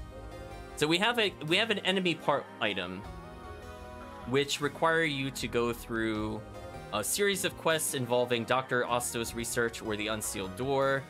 Again, please reference online guides or other previous videos for how to unlock the weapon part upgrades. So again, we're, we're gonna play we're gonna play another game. We're gonna see how close Chris can get. So the normal drop rate on hard mode is 1 in 128. The drop rate on the same enemy, the Grass Assassin, is 1 in 116. So very hard 116, hard mode 128. What do you think it is on normal mode? these these are the kinds of things where like I will try not to normally flood the chat with numbers, but I want you to understand that there are just there is just absolute trash nonsense rares. 1 in 2100, I'm sorry, this time you overshot. If you had said 1 in 10,000, you would have been right. 10,082 more specifically. But you you had the right idea. You you had to go more than a factor of 10. So it just it's just truly nonsense. I just I really don't get it, chat. I know. Be- better luck next time. We'll we'll try some more guesses to go forward with it. Um, so we'll talk about this item since we're here. So if you go through the Dr. Ostos research, uh, this this introduces a new weapon type called Twin Sword, which is not a common drop. It's specific to rares. I don't think there's a single normal item that has this. So what I want to draw your attention to, it needs 390 ATP, which is fairly high, which again is why I think you can't normally get it on normal mode. So think about it this way, you know, if you were starting with around 80 ATP, you would need to somehow gain about 300 ATP between your mag and your levels, which if you're getting 7 a level, in like 40 levels, you're like most of the way there, and the rest could be mag. So you could reasonably use this in very hard mode as a fresh character. Um, it's worth picking up when you can, of course. But I want to draw attention to this. So, Twin Swords. This is the only version of this weapon type where you hold two different sabers that forces can use. So not only is it a good hunter weapon, but if you want to just play a melee force, this is like one of your must-pick items. Um, one other benefit that the monster items get over the other items is that while the random percentages on the items are nice, you cannot guarantee the hit percentage. So, like, I could get like 60 native, 40 dark, but no hit percentage. And I will basically ignore the weapon because it doesn't have hit percentage. But monster weapons are different. If you're playing episode 4, uh, again, consult our previous quest video you can upgrade the weapon to get hit percentage. So you can make these like fairly easy to acquire. So you need to kill 100 grass assassins. That's like three, four quests. That's like nothing. That is like honestly nothing, like in terms of like grind time. And it is essentially like a potential endgame weapon for you as a force, and still really good for you as a hunter. So we're going to be talking about different types of carries going forward. We're gonna call them Pauper Carries. Arguably, this is best in slot for forces, since this is the only type of weapon they, they can use here. But I just want to draw attention to it. It's a very interesting weapon. Unfortunately, I didn't know how to unlock the monster parts when I first played the game, so I missed my window of opportunity when I played. So I highly recommend, I highly recommend that you do what you need to do for the unsealed door. Then I believe it's clear deal 5, and then you after playing uh, 9-5 The Chosen, I think is the quest. In episode 4, to give you the hit percentage. But even without hit percentage, it's still a really, really solid weapon, honestly, for vanilla playthroughs. So please, please, please consider this weapon. Okay. So we're we're going to have a category that I'm going to bring up. I'm going to try not to list every item that shows up in episode 4, but I am going to push it very hard I'm letting you know there's a hard bias, heavy bias here. I really, really promote you as a force playing episode 4. I actually don't recommend for new characters to start in episode 4, and I'll tell you exactly what items will enable it for hunters and rangers. It's not a great thing to immediately jump into. It's a really great thing to go back to once you get like one or two specific items. Then it makes it so much easier. And you're gonna go, oh, now I understand why people play this episode. But anyway, if you're a force, um, you get the you get ad slots from the rare enemies and boxes. So if you want to do the equivalency of box runs, literally every box that you open has a chance for ad slot, and a fairly common enemy that is I don't know why I wrote surface here. This is available on all areas of episode four. So everywhere you go is potentially an ad slot, which is crazy. And then on top of this, Every other rare enemy, whether on the surface or underground, gives you a photon crystal. We're going to be talking about this in detail at the very end of the video, so for people that are interested in this, definitely check the timestamps. Um, but essentially, the photon crystal is a way to add the hit percentage to the weapon that we just talked about, the G Assassin Saber.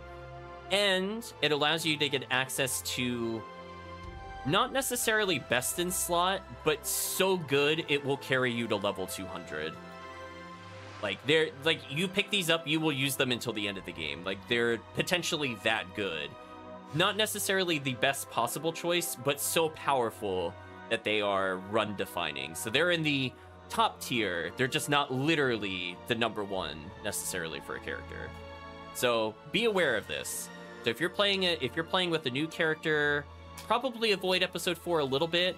There are some niche things you could do, like for example, uh, there's a very common run for photon drops and easy techniques that involve going to massive attack 4AC slash AB slash 4A, where the initial wave is all Rappies. And even if you can't defeat them because they are fairly tanky for new players, Rappies have an innate mechanic that they run away when struck. So if you have a long range attack that hits multiple times, let's say Gizonde or a or um, a sniper that you could just double tap quickly on, you could just force them to drop their items since Rappies always drop items when spooked and hit again. And you don't even actually need to defeat them. You don't have to worry about actually killing them. So people will actually do this to get higher level armor and techniques. Just so that just so you're aware, even as a fresh character, you could go do this. And it is pretty powerful because it's like the equivalency of stuff that you would find in uh, Mines, which is the third area of episode one, to potentially Ruins, depending on how far in you go. So just be aware of that. Episode 4 OP. You're going to be hearing me say that a lot. And the thing is, is if you're looking to have the pure mind mag we mentioned earlier in our mag discussion, literally on normal mode, if you just kill the surface, actually, surface here. No matter where you go in episode 4, you fight Rappies, and you could get Rappy's Beak. So if you want to have your pure mind mag, um, at least once you complete normal, and technically could go to hard, consider just going back to episode 4. Um, we're also going to just give one more shout out to episode 4. Its XP is like 1.5 to 1.75 times the other episodes, and it's not as hard. There are more mechanics in it that make it a bit more challenging for new players, but it's it's not as crazy hard as you think it would be, especially if especially if you play episode 2, which I genuinely think is way harder than episode 4. Um, it can lead to some misconceptions that there's stuff harder than episode 2. There really isn't. Episode 4 is free for forces. And finally, and finally, I just want to double check this one.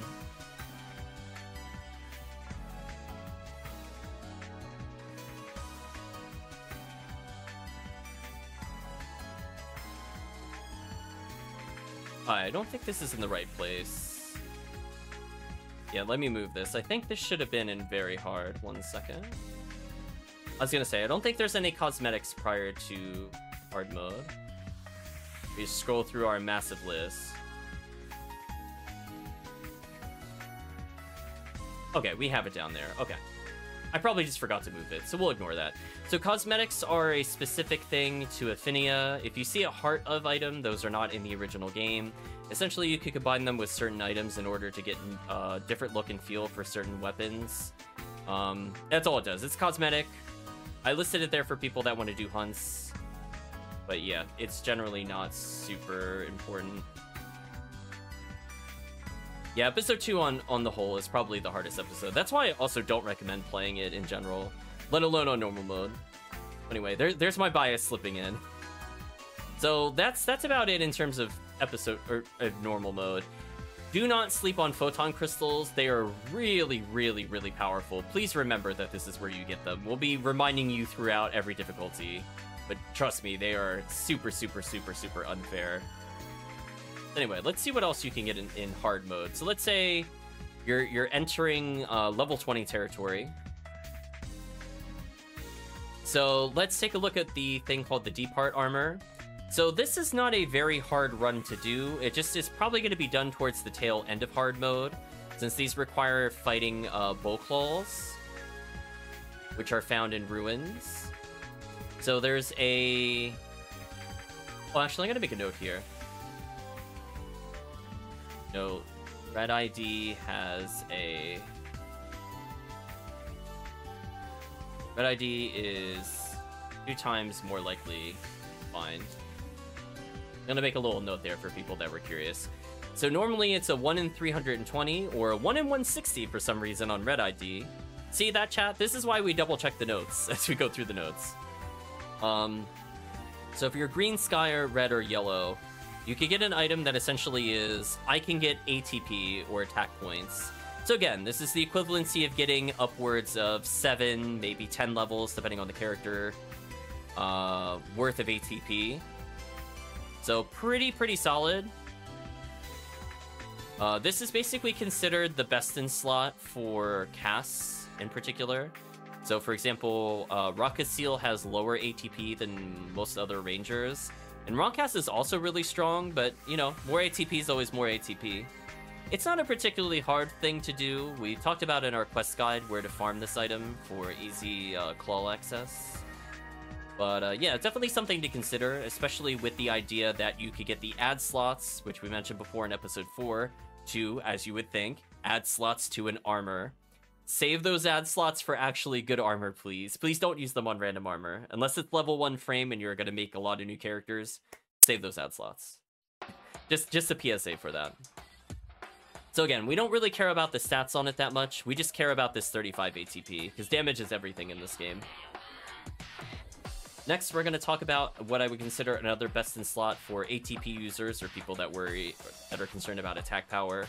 It needs 120 accuracy, which is somewhat demanding. I don't think you can quite get this on normal consistently, especially depending on the character.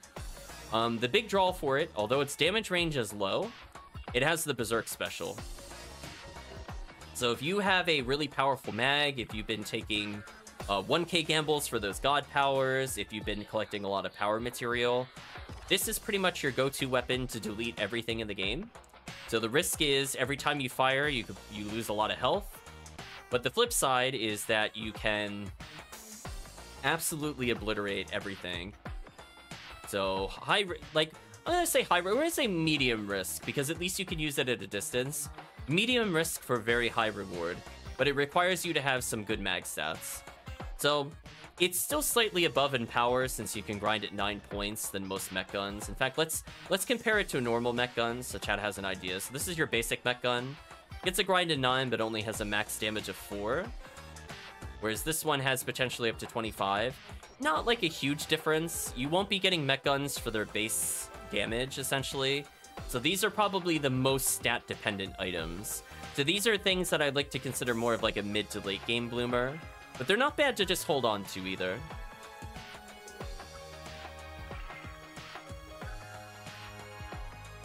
So, also, what you can end up doing Oh, by the way, Chad, we get. Oh, oh, oh! I spoiled it. Uh, my bad. I didn't mean to scroll down far enough. I was gonna say, guess, guess what the drop rate was on the Gilchic that I didn't bother talking about in normal mode. But it was one in sixteen thousand, by the way, versus the one in what was it, two hundred? We'll just back up slightly. Yeah, like the one in forty-five Hildebeer versus sixteen thousand. Normal mode is such such a joke, Chad. I don't know why it's like that. Of course it is.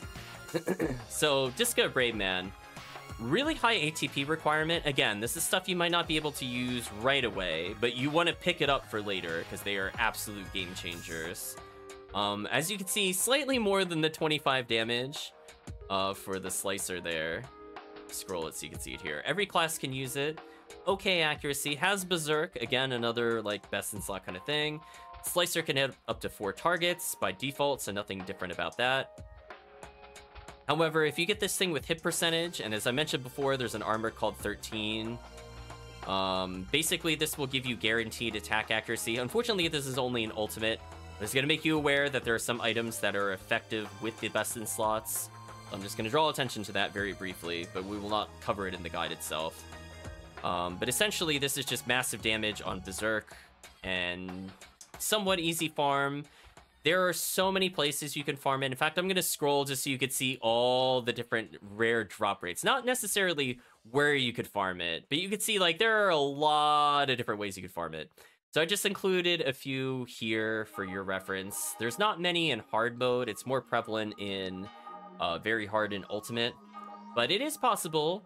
If you're playing episode 4 hard mode, like let's say you're on very hard and you need to level faster, you go actually go back to hard mode episode 4 is remember, XP in episode 4 equals broken. You have a slightly easier farm doing hard mode episode 4 than very hard mode episode 1, and definitely in comparison to episode 2, very hard mode.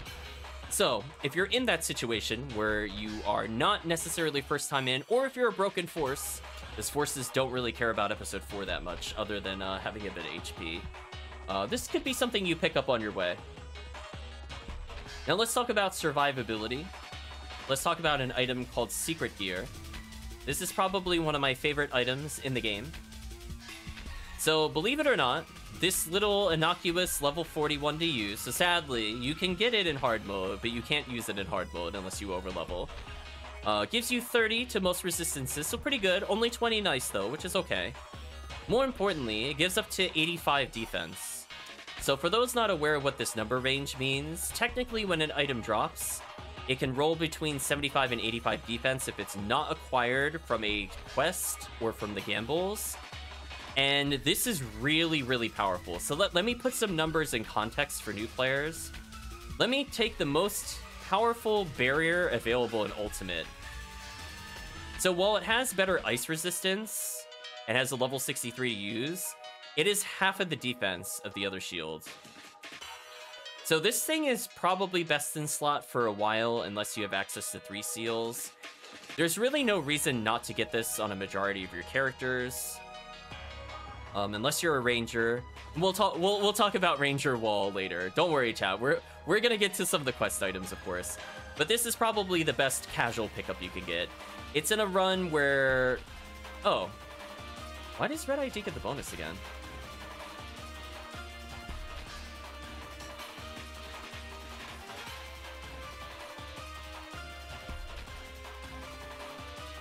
So anyway, chat, apparently Red ID is called the Privileged ID.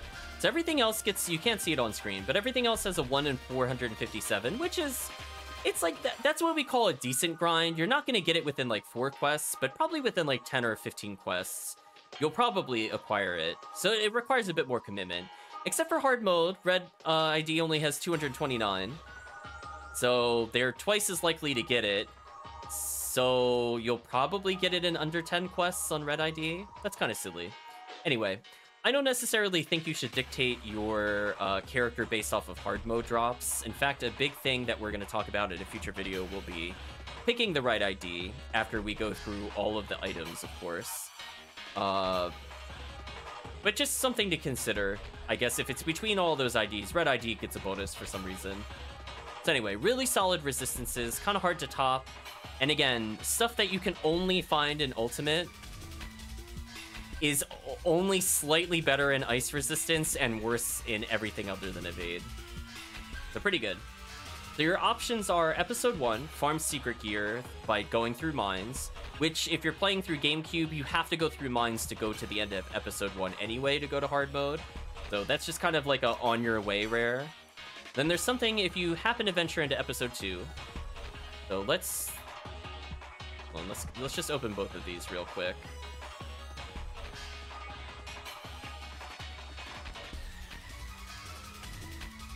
Leave Secret Gear open, and then we're going to go back to Attribute Wall. We're going to compare the two. So it has slightly worse evasion. However, it has much better resistances. So generally, I will always consider this to be better Secret Gear. You can you can live with either. Both of them are about the same. Do whichever one makes sense for you for the hunt purpose. So all classes can use this. They have the same kinds of requirements. Not really too much different here. So just be aware of this chat. Let me scroll it slightly for the chat. So if you want a more solid endgame barrier, technically Attribute Wall is better because uh, Dark and Light Resistance is more important for the end of the game. And having more ice resistance and light resistance is actually somewhat relevant for episode 1 final boss in particular. Sadly, you get this in episode 2. So think about it. I'm now checking to see if Red ID gets privileged.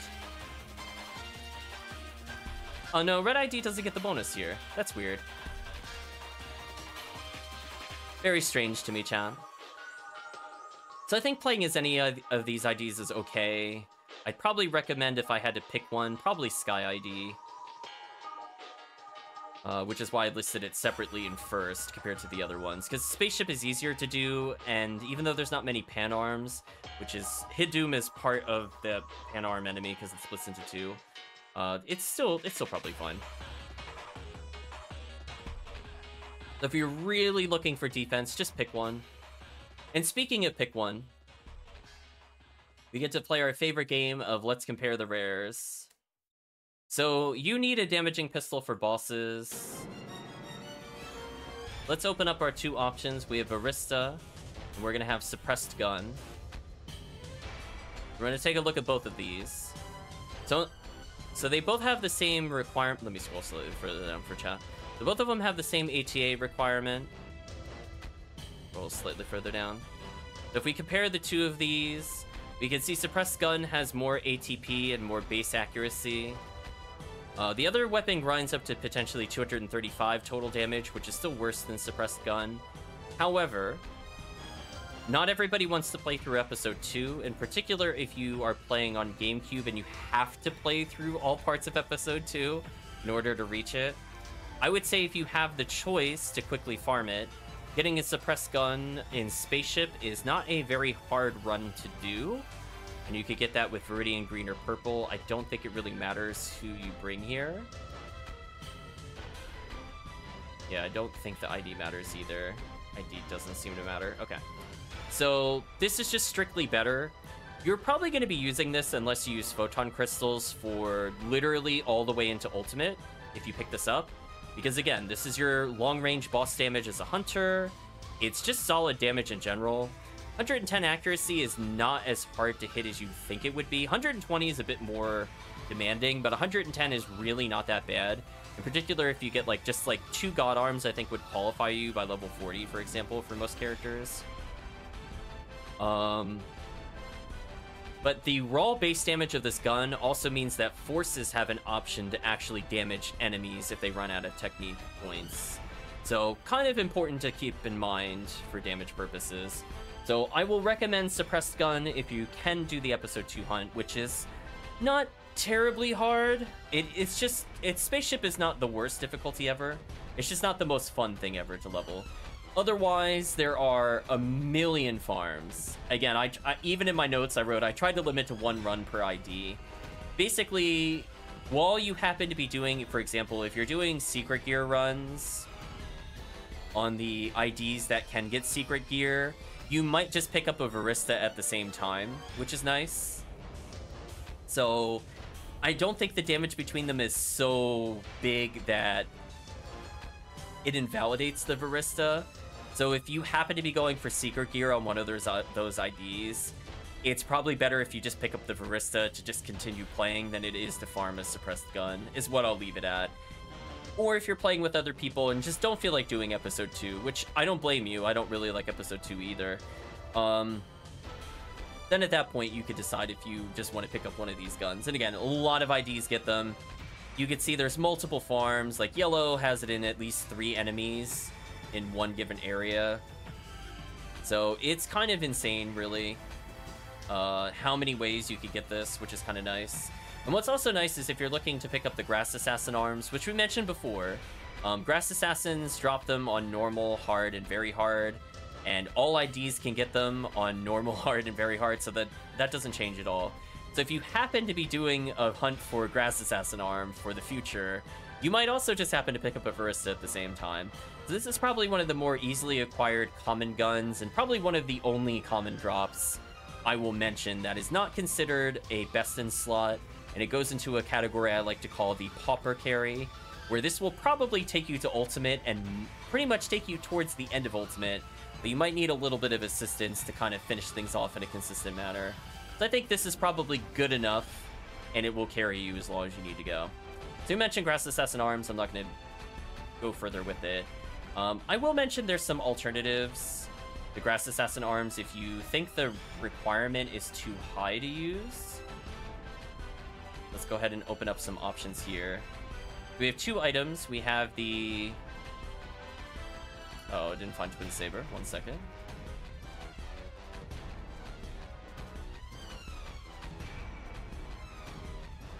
A feeling when it doesn't know where it is. Okay, let me let me go from here. Sorry about that, chat. Maybe it's Twin Brand I'm thinking of.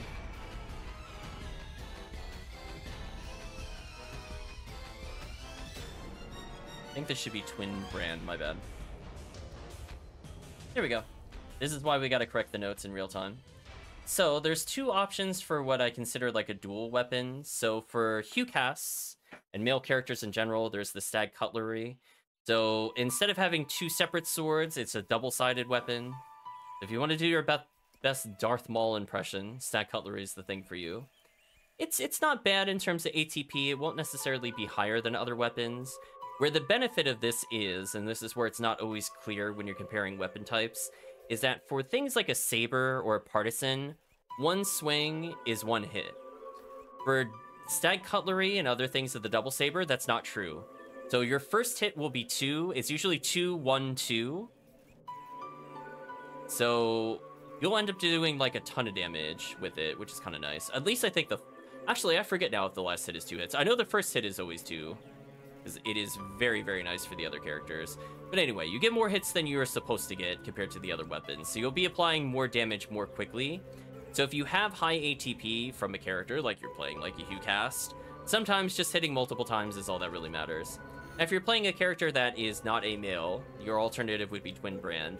However, I will note that both of these are episode 4 only runs, so these are things that you would probably go back to. You would probably not do these as those characters in hard mode at the time you could do them, but when you're done with hard mode and can access very hard mode, again, reminder, then I would recommend going back to episode 4. So let's talk about some other potential best in slots. These are the things that are actually worth grinding for, regardless of difficulty. Like, they are so good if they drop with hit percentage that people will absolutely spend hours and hours and hours grinding to get a hit percentage of these. And so we have another twin sword. So we Grass Assassin Arm as the very easy pickup, the one that is the consistent carry, and that's why I put that in the Pauper carry. The true best in slot for hunters, in particular the HuCast, is the Musashi. And you're like, okay, but, you know, I'm looking at this. The ATP is okay. So, why do people choose this as their best in slot for the end of the game? Surely they're stronger weapons. And technically you're right, but it has Berserk, and there's an item that is called the Proof of Sword Saint, which improves the accuracy in ultimate mode, to give an additional, let's fact check this, 30 accuracy to the weapon. So if you have two Proof of Sword Saints, it's the equivalency of having 60 extra accuracy, or on the first swing, 60%, which scales with however many hits you are in the combo. So this is one of those few weapons you could Berserk, Berserk, Berserk, and everything dies. It is insanely good, even without the ultimate level item, Proof of Sword Saint. Um, and it's on a drop that's fairly easy to farm across all difficulties, so no matter who you are, you simply defeat Dragon, aka the easiest boss of the game on hard mode. And there's a lot of different quests you could do, like TTF against your Quest uh, video, uh, that will let you reach the dragon more quickly than just going through standard play. So yeah, this is something that's potentially worth farming. At minimum, just pick it up without hit percentage and consider if you're struggling at all in ultimate mode, coming back to here and getting a Musashi, because it is fantastic. Now we're going to talk about our first recommended partisan of the day. You might notice another hunter only. ATP is not, it's high, don't get me wrong, it's high, but it's not like 600, it's not 800, it's not 900. And so you might notice that this one says C page. So this is an this is an actual pay to win weapon. You might see I'll highlight it here. You can see it in the little mini cutout. If you're willing to pay 10,000 Meseta per swing, which is insane. This is not something you would normally do in normal and hard mode, but maybe in very hard you would, and definitely in ultimate you would. It does 5.56 times the base damage of the weapon. And it can crit. It is absolutely crazy absolutely crazy. So this is an if you get this with any amount of hit percentage, it is run-endingly powerful. So highly, highly recommend this. This is more of a late game rare. It is also a solid ATP bonus, so honestly, even without the special, this will still be better than common drop, so I'm still gonna leave this here, regardless. So generally speaking, if you wanted to have the meta on it, Blue ID gets it basically everywhere on almost every ID. Um, other IDs can occasionally get it in other places very situationally versus like rare enemies. This, this is all, I think.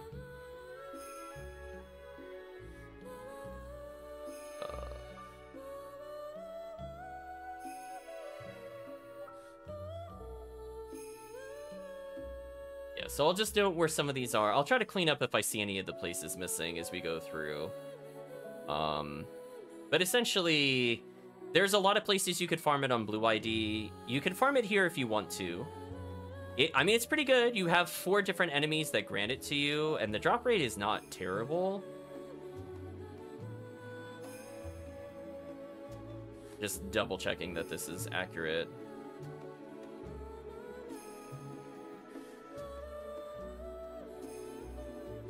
The one thing I have to be careful about, as I said before, is that there are big charts. Where did I say this was available? Evil Shark, Nano Dragon, Medium.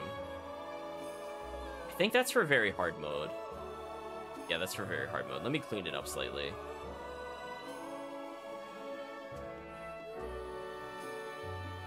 Don't worry, it'll be in very hard mode in a little bit.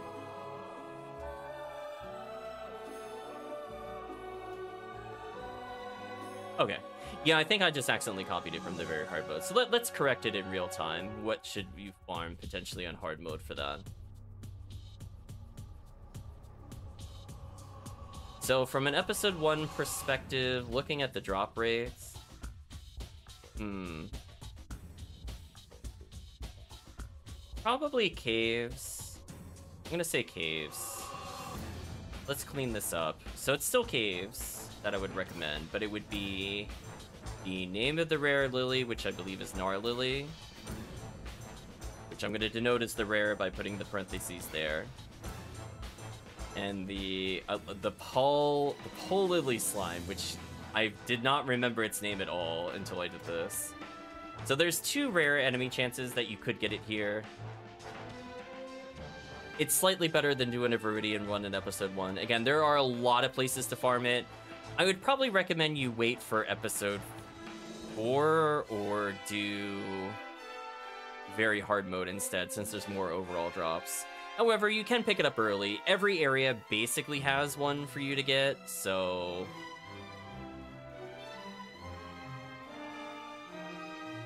Actually, I'm going to say all areas. I'm going to say most areas. It, it almost doesn't matter. You're not really going to farm it here, necessarily, but you could just pick it up arbitrarily while playing Blue ID. So if you're not sure what to get after going through all the items, that's a pretty safe one.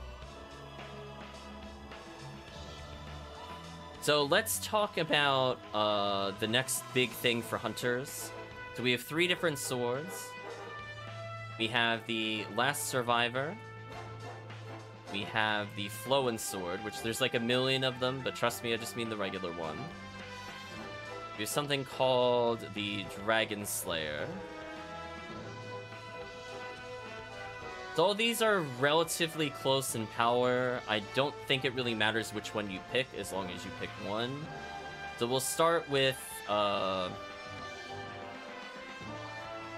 I guess we'll start with Last Survivor. I would probably recommend this over the other choices if given a chance. So let's move this a little lower. Move it a little more for comparison purposes. You can see these are all hunter only, nothing really changes here. So Dragon Slayer has the most rolled ATP. Flowen Sword has lower ATP, however, it is a set effect item. If you happen to pick up Flowen's Frame and Flowen's Shield, technically Flowen's Sword then becomes better. So in some situations, this will be better than the other choices. And then Last Survivor is kind of an in-between. It's a lot easier to farm, especially if you're playing not on the Ephinea server, uh, on other episodes, compared to Dragon Slayer, which is generally a harder farm. So, recommended if you happen to be playing Sky ID and playing like episode 1, or you're playing Temple 2, which has four different drops, by the way, if you really want it. Um, this is probably my recommended one.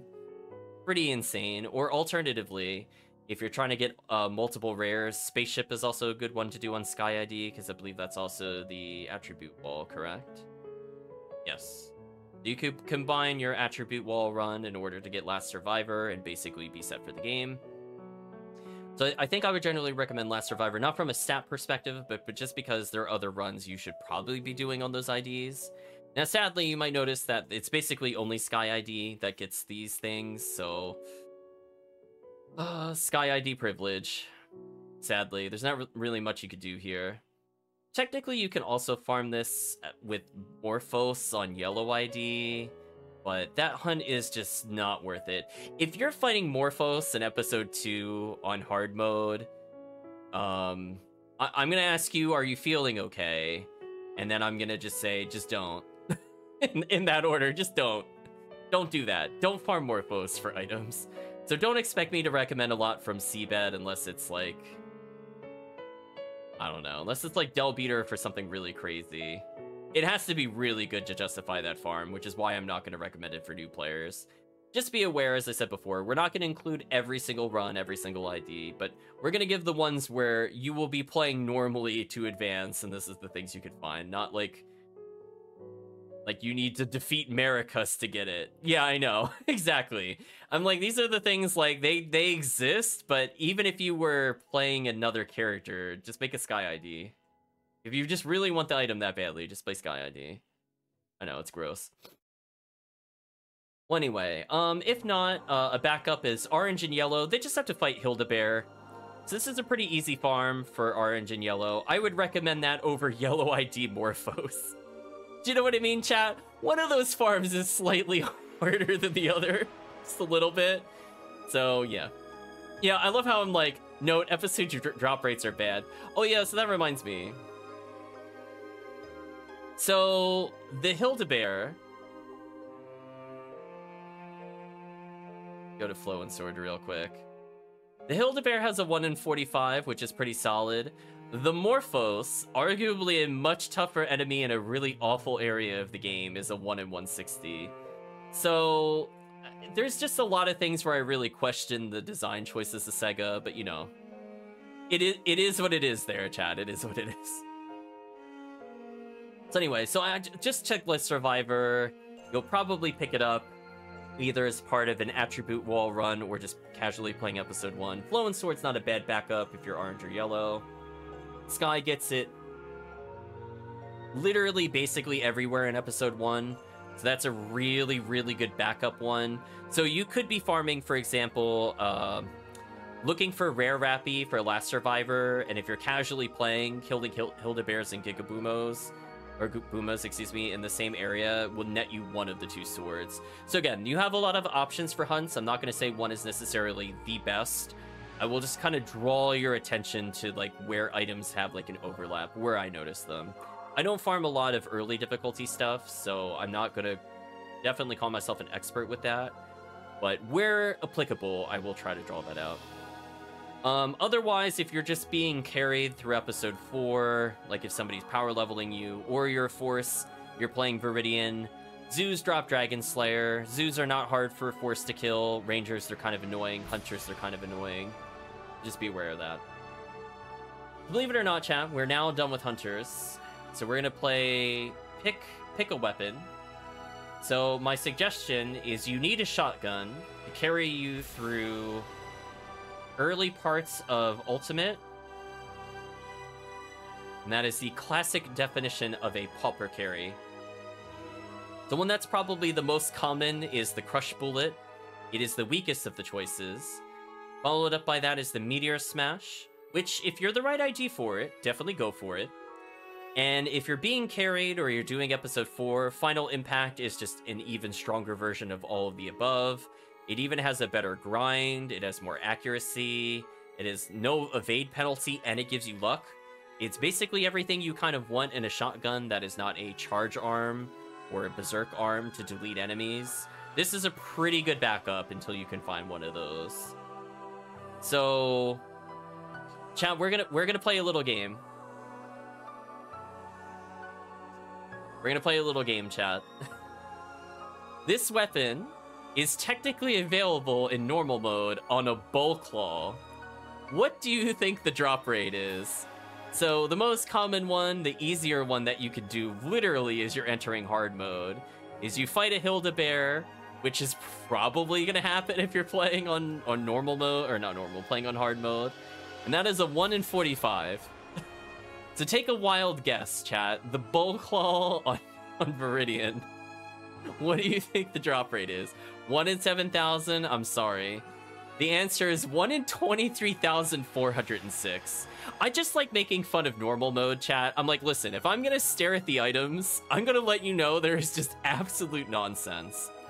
Um, you're not gonna guess this one, but the Sinow Berill of the same difficulty on the same ID in an easier area than Ruins is 1 in 1,862, which is insane, but not as insane as the Bulclaw. I, I don't understand, chat. It just, honestly, my, my brain hurts looking at some of these drop rates. Like, honestly, what is this nonsense?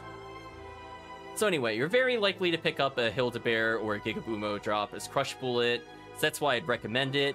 If you're farming for Meteor Smash, you might end up with Crush Bullet, which is why I think Viridian Forest runs are pretty good. Otherwise, if you're playing through caves, naturally advancing through the game, then you might pick up a Meteor Smash, and I will state it is just better.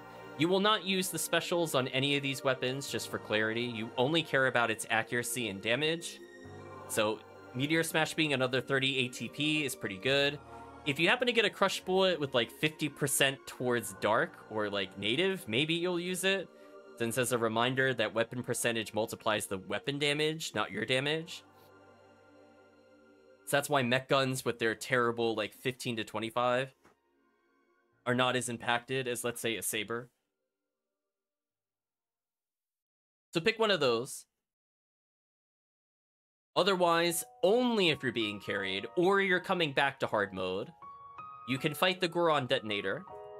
Uh, the Goran Detonator is one of the harder enemies in the game, so this is not something you do without prior knowledge of the game. Do not recommend, but when you're being carried, because episode 4 is a very common carry quest area in, uh, for PSO, if it's played on Viridian, you just might pick this up. Just be aware of that. Uh, finally, we have two weapons that I think enable the Ranger specifically to do episode 4. Hunters, I feel like if you have a nice double saber and the Varista, I think they're good enough. You're gonna have some trouble with an enemy called the Zu, which is a bit unfortunate, since you don't really have an easy way to get rid of them unless you have Gafoi uh, before going to ultimate mode. However, Rangers have a cheat option to deal with that enemy, and those are the launchers. So let's compare the two launchers. So chat has a baseline, so we have Guilty Guilty Light with 250 ATP, We'll be grinding for 18 more. Uh, Photon Launcher is about 30 ATP less, grinds for a bit less. Um, I think it actually has a slightly more useful special. Hold is not terrible, Blizzard is sadly mostly useless. You could use this as a joke, I guess. It's it's probably not going to trigger super often. As I said, at most it could trigger 40% of the time. I guess with the fact that, uh, for those not aware, launchers pierce up to four targets. It does less damage for every target it passes through, with one exception being the ES launcher, which ignores that rule. Let me see, maybe it'll mention here on the side. Doesn't mention there on the side, that's fine. It's like, I think it goes down to like 15% or something. It's probably on the general weapon tab, but that's fine. It's not super important to know that. What is important to know from this is that these two weapons are different than snipers in the fact that not only do they pierce targets and fire in a straight line, but they infinitely hit upwards and downwards. And you're like, okay, well, why would that matter?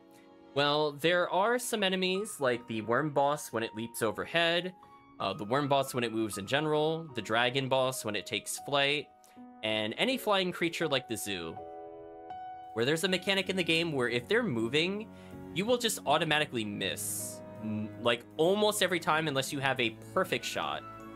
So to ignore that mechanic where they are physically moving and that causes you to whiff, which is really annoying because it's not even tied into their evade, your accuracy will not matter for that, by the way.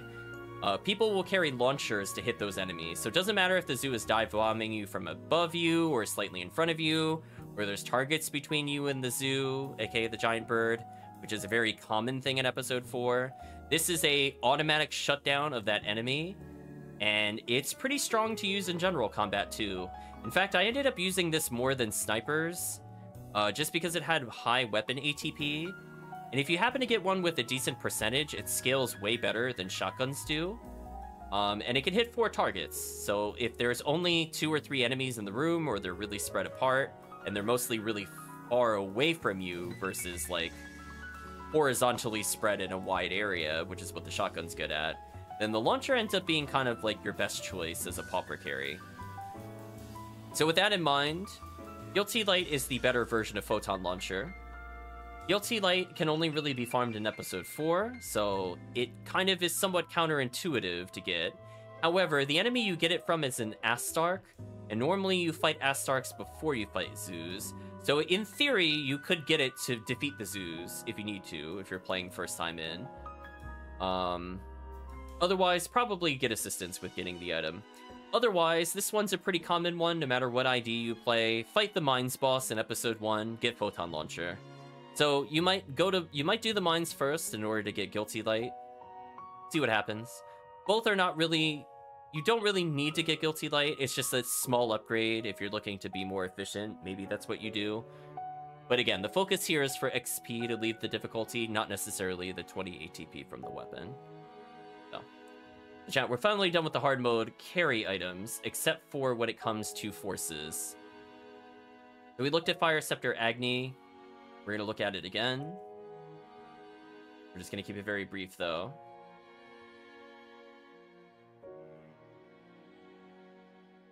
We're going to look at the Ice Staff, and we're going to look at Storm Wand Indra. So these are referred to commonly as the Elemental Ones. So essentially, all of them have fairly high MST requirements.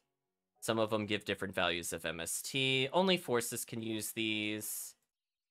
Do not worry about getting them with other characters. I don't know why they thought the lightning one would end up being the best one, because they, they clearly wanted... The farms you have to do for the lightning one are much harder, and the requirements to use them are higher. The technically, lightning gives the best overall MST.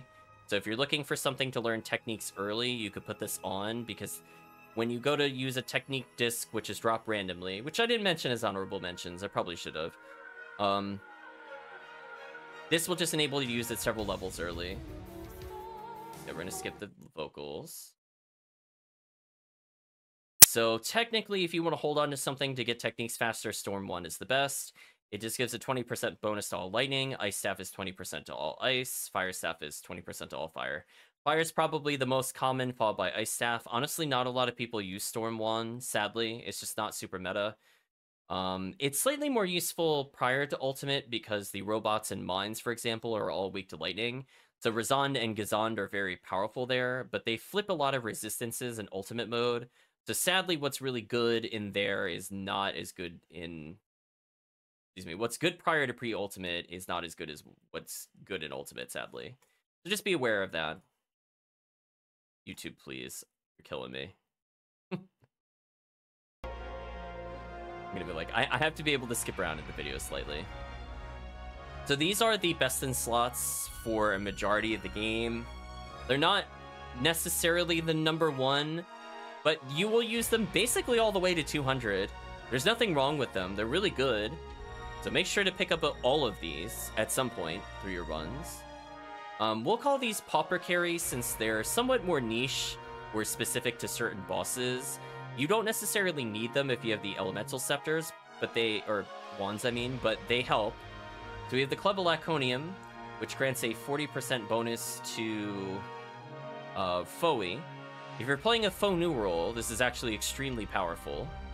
Lower lower requirement to use, doesn't give any MST for some reason. Again, rare rare canes and wands don't really make any sense in this game, to be honest with you.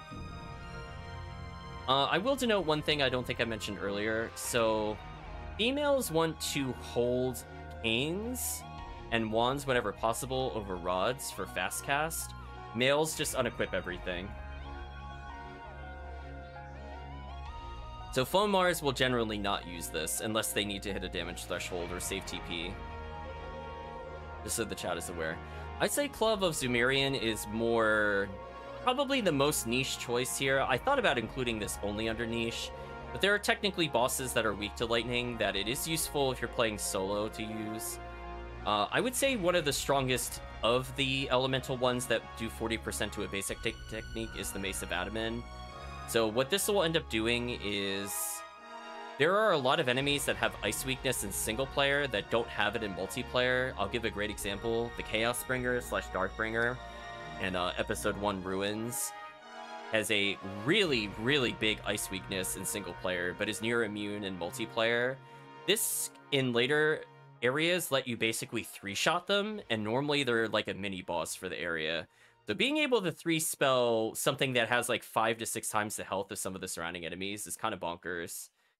So uh, people will bring in this specific Club Laconium uh, for one particular thing. And that is making sure that you do enough damage to, to Falz. So there's a pretty infamous cycle within the final boss of episode 1 where the boss is immune on difficulties outside of normal or long stretches of time. This buff's the only technique the boss really takes major damage from that you could spam. So this really just helps with boss clear. The people will bring that for boss clear. Let's move on to another item. If you're wondering what ID to play, my answer to you will always be Pink ID. Pink ID gets basically every Force item in the game. So if you're not sure how to get these items, when in doubt, Pink ID.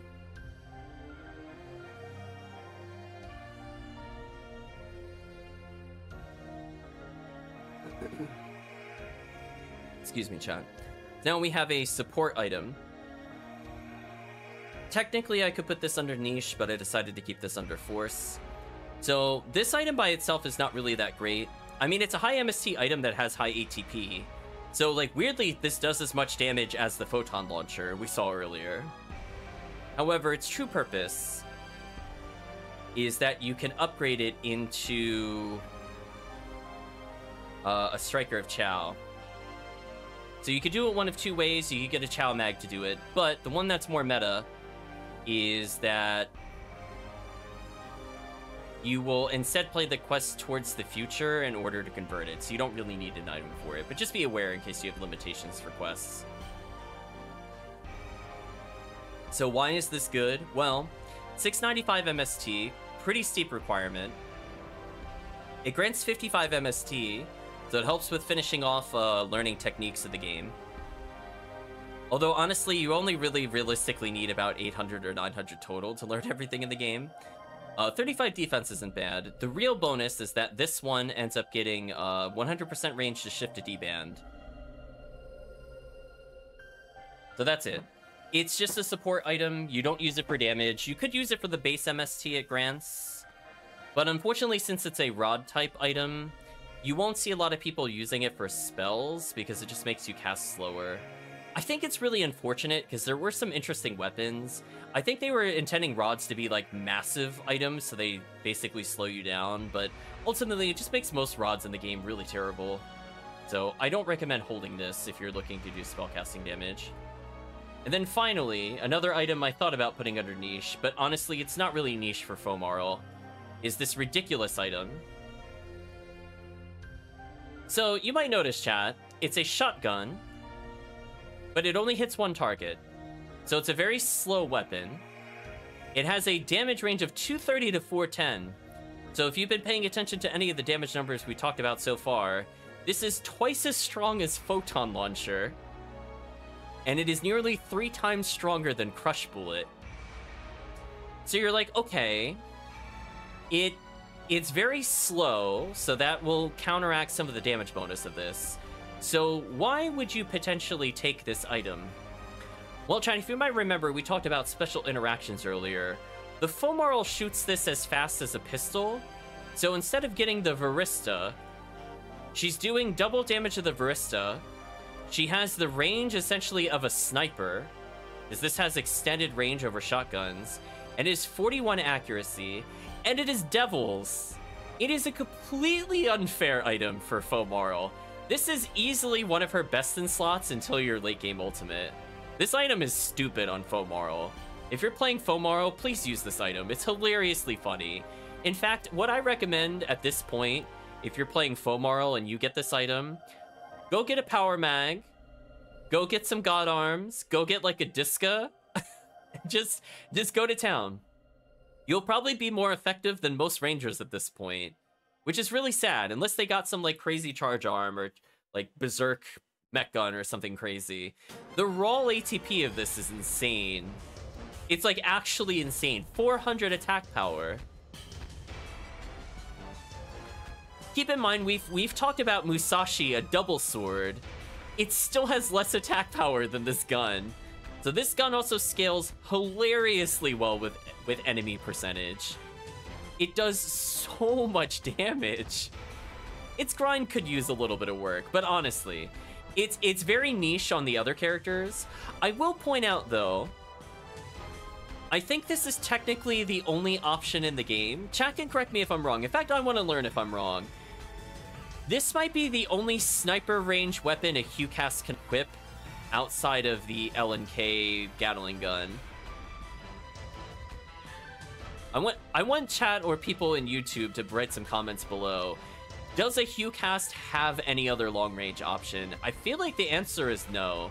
I've tried really hard to find them, but there's ones that have like sniper type as their type, but they only hit point blank, like the drill launcher.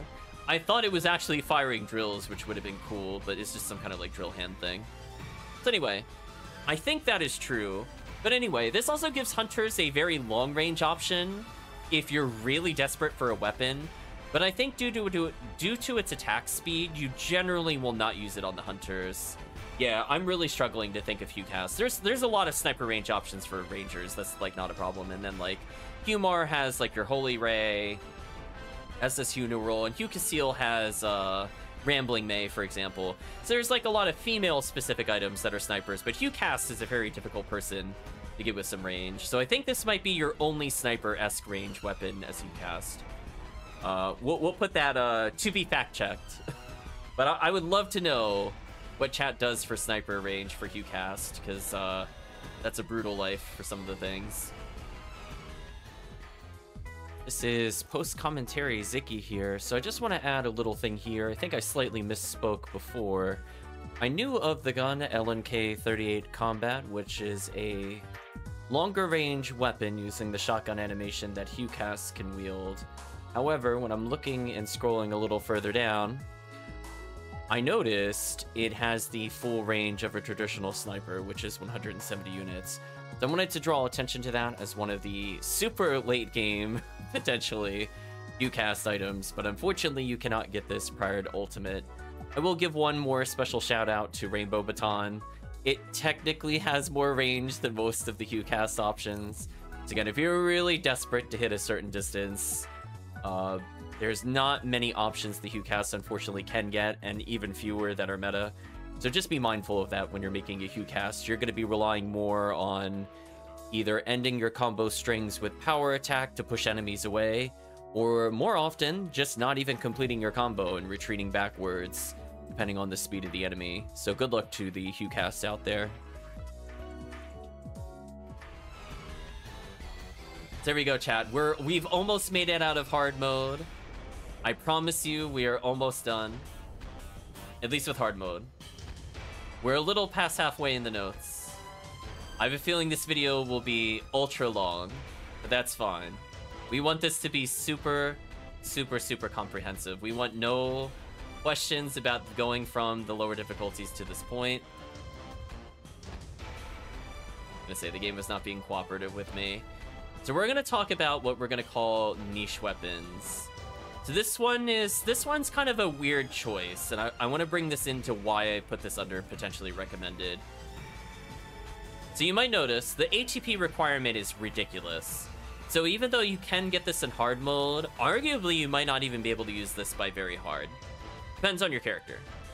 So you're like, okay, so why did you why did you recommend this item since it's so hard to use?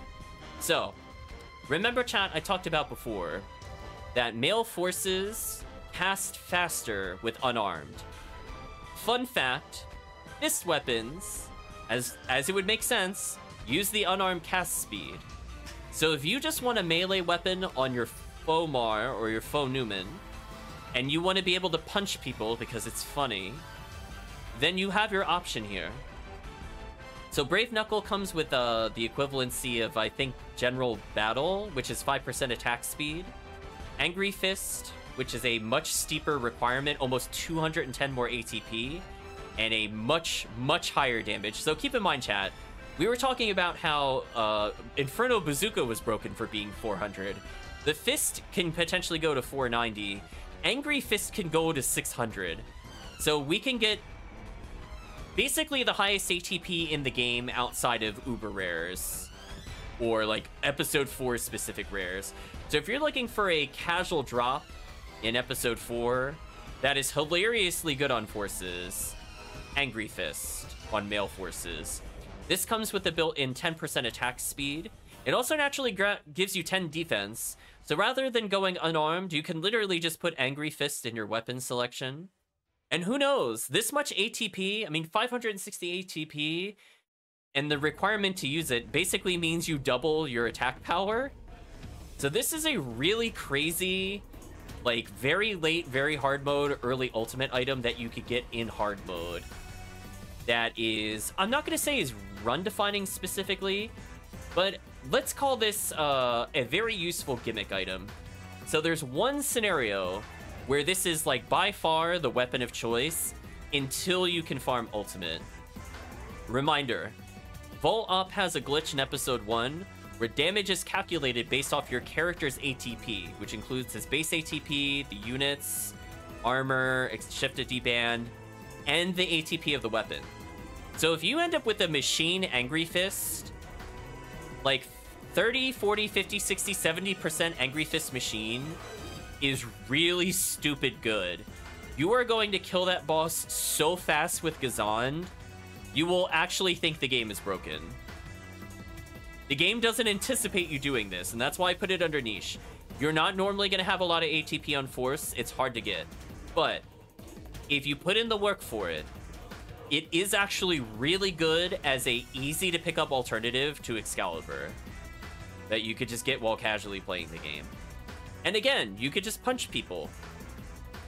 If you run out of ATP, like, this 560 ATP is literally how much you would probably have as the Force. So if you're playing, you know, Fomar and you decide to put on Power Mag, because you decide you're in an area that is not great for spell casting, like, let's say, Episode 2, and you want to do some damage, well, with the Power Mag, which you know, 610 ATP might be like the tail end of level 70, maybe like level low 80s, depending on how leveled up your mag is. Uh, could be very good. But again, very, very, very niche. This is something you kind of do as like coming back in with a second character, you could do this. The more realistic option for a first time character is the 400 ATP, where you don't necessarily need like a crazy max character. And honestly, like if we were to compare any weapon type that the Force can use, there's only one other weapon that even comes remotely close, and this still has a much lower requirement, and this allows for fast casting. So this will still edge out that other weapon before you get like some of the uber drops or better drops in uh, Ultimate. So I'm gonna list this as niche. There are some characters with good punching animations. I don't recall them offhand, but try it out. I, I know for a while off stream, I don't think I have any recorded games of when I did use Angry Fist. When I was leveling my Fomar to 90, I had Angry Fist on him to save TP because he could normal power power kill Boomas on ultimate, which is funny. It's really funny to kill them with fist chat. I feel like it sends a message. so I'm gonna put this under niche. It has one specific use versus uh, being what we'll call a pseudo Excalibur, which has 800 base ATP and is ridiculously good against Vol Opt. Um, this one is just if you don't like menuing to undo your weapon and you just want to have multiple ways to menu to become unarmed, this is a pretty good alternative. So anyway, chat, we have a very short list of things that you could find in episode 4. This is for people that are looking to do uh, level up runs with other people. Uh, if they were curious where to get these things, photon crystals are everywhere. Let's talk about one rare that's really, really good. So we mentioned before you could do the Tulesius mag and our mag creation. Hard mode boss, Shambertin, which is very easy to do if you have Point of Disaster uh, for episode 4 unlocked with your team is a really easy way to start getting mags for all your characters. Again, recommendation is if you're playing a completely fresh character, it's better to just go to hard mode and go back to normal, or go to very hard mode then go back to hard mode episode 4. I promise you the XP is really easy and the drops are still probably better than anything you could get on every difficulty. So we're not going to go through all the individual runs here. Just be aware of these. You can still get a Rappy's Beak if you're looking for them. So I'm going to draw attention to one additional thing we'll be talking about uh, at the very end of this video, which is the Claire deals components. So Secret Gear Attribute Wall forms something called From the Depths.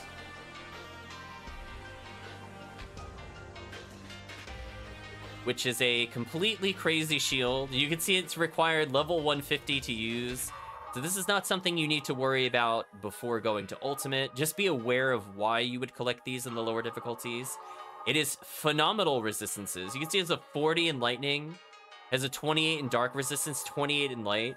Only the Fire is a little disappointing. I would have liked to have seen this to be 25, but it is fantastically high defense, literally double that of Secret Gear, and double that evasion of Secret Gear. So just fantastic defensive option. Um, most people will use it more for the resistances than anything else. There are better shields for resistances, but this is probably the easier combo shield to do. I just wanted to draw attention to that very briefly. Um, there are Agitos, which are katanas, which you can use as a standalone weapon. I mean, like 30, 350 ATP to use and 400 base ATP is pretty good. But, like, just be aware it's still worse than Angry Fist. Like, just genuinely be aware. Like, it's still it's still worse. Brave Knuckle is about on par, but remember, Brave Knuckle still fast casts. Um, the only thing that might edge this one out over that choice is there's an armor we could talk about later called Samurai Armor from, um, again, we'll talk about it later. But essentially it adds 30% ATP.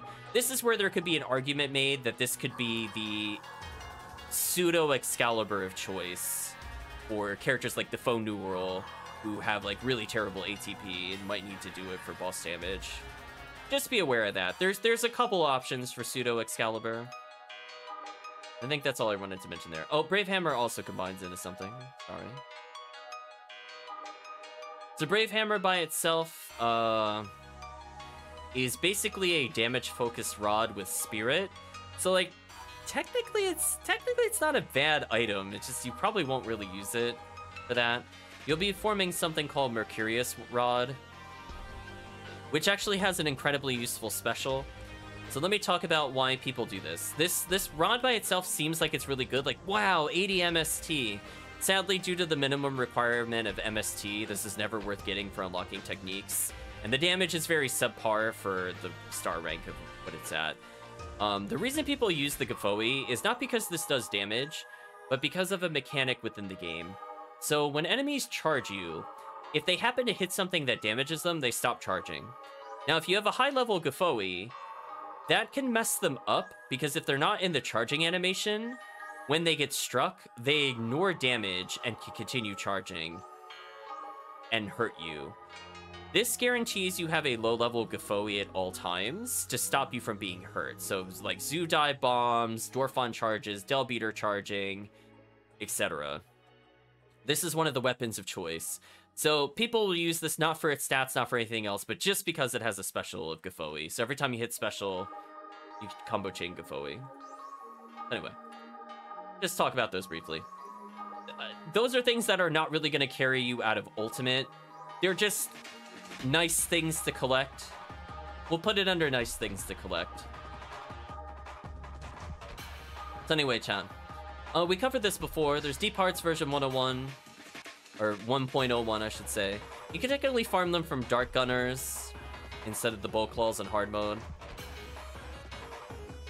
I recommend you just do hard mode. The run is easier, comparatively. The rare rate is slightly different, but Dark Gunners are also really annoying to kill in general. But I thought I'd list it here in case you're playing through episode 1 on Green ID. Uh, Diska of Braveman is back. We're not going to open that up. We've seen that before. Um, more IDs are starting to get it. You'll see White ID have probably the better choices for the most part between episode 1 and episode 2 of rare enemy drops. And in general, White ID is like the Slicer ID.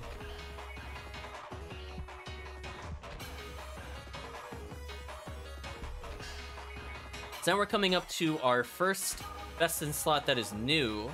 This is a female only item. Grell's Parasol. So this has a fairly high requirement. Anything that starts going over 400 is pretty hard for a new player to get into.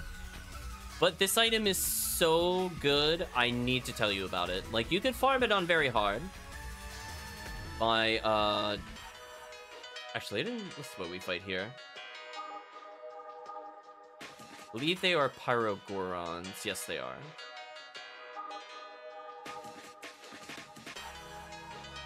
So this is where I gotta double check, Chan. So a great, great drop.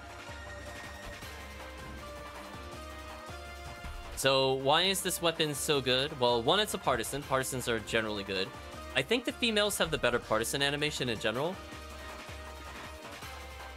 So that's number two. Number three, it is a charge special. So it already has one of the best specials in the game you can get on a weapon. Uh, I guess next point would be, or point, I think we're up to point four. I wasn't paying attention. Um, ATP is pretty high. So pretty good weapon to use against Worm Boss or just crowd control in general. And then on top of that, on top of just being ridiculously good in terms of stats for what it is, it also gives 100% boosted range to Shifta, Deband, and healing. so if you're playing like a HUnewearl or a Ramarl that might not have level 30 techniques and have the range that the rest of does of the forces, this lets you basically heal the whole room. So honestly, it has just so many uses as both a great weapon, crowd control, buffs. If you could get one with hit percentage, you're going to be using this basically the whole game the moment you get it as a female character. It, it, it is actually genuinely that good. Uh, next up we have uh, God Battle, which we saw we could gamble for, but if you don't gamble, the earliest you could get it, I believe, is on very hard, fighting uh, Dorphon Eclair, which is awful. That is an awful farm. But it's there if you really want to do it. And it's only really topped off by the second worst farm of the game, I would say, and that is Pazuzu. like, Dorphon Eclair doesn't show up, Pazuzu is slightly more common, but also does not show up. So pick your poison, you have two incredibly rare chances of finding these things. Hello, Toriel, hopefully you're doing well. And finally, if you're looking for uh, Dragon Scale, uh, now at this point I'm going to list it at best in slot. But welcome, Raiders. Yeah, we're going through an item uh, guide for people looking to get, into PSO, just to catch people up.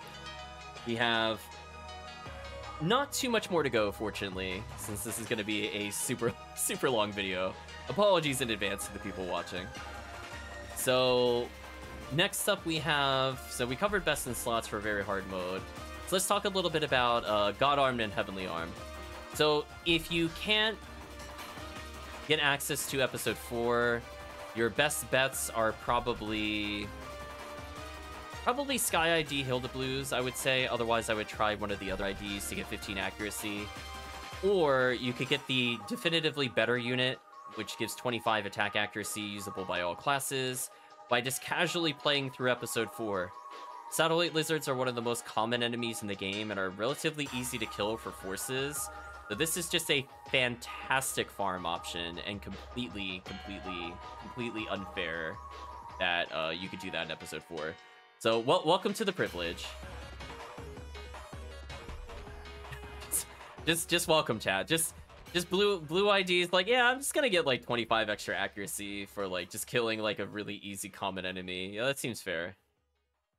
Anyway, we're gonna mention one last time Grass Assassin Arms, and we will not mention it again, I promise. Um, I have two things of God Battle. Did I forget to split my notes?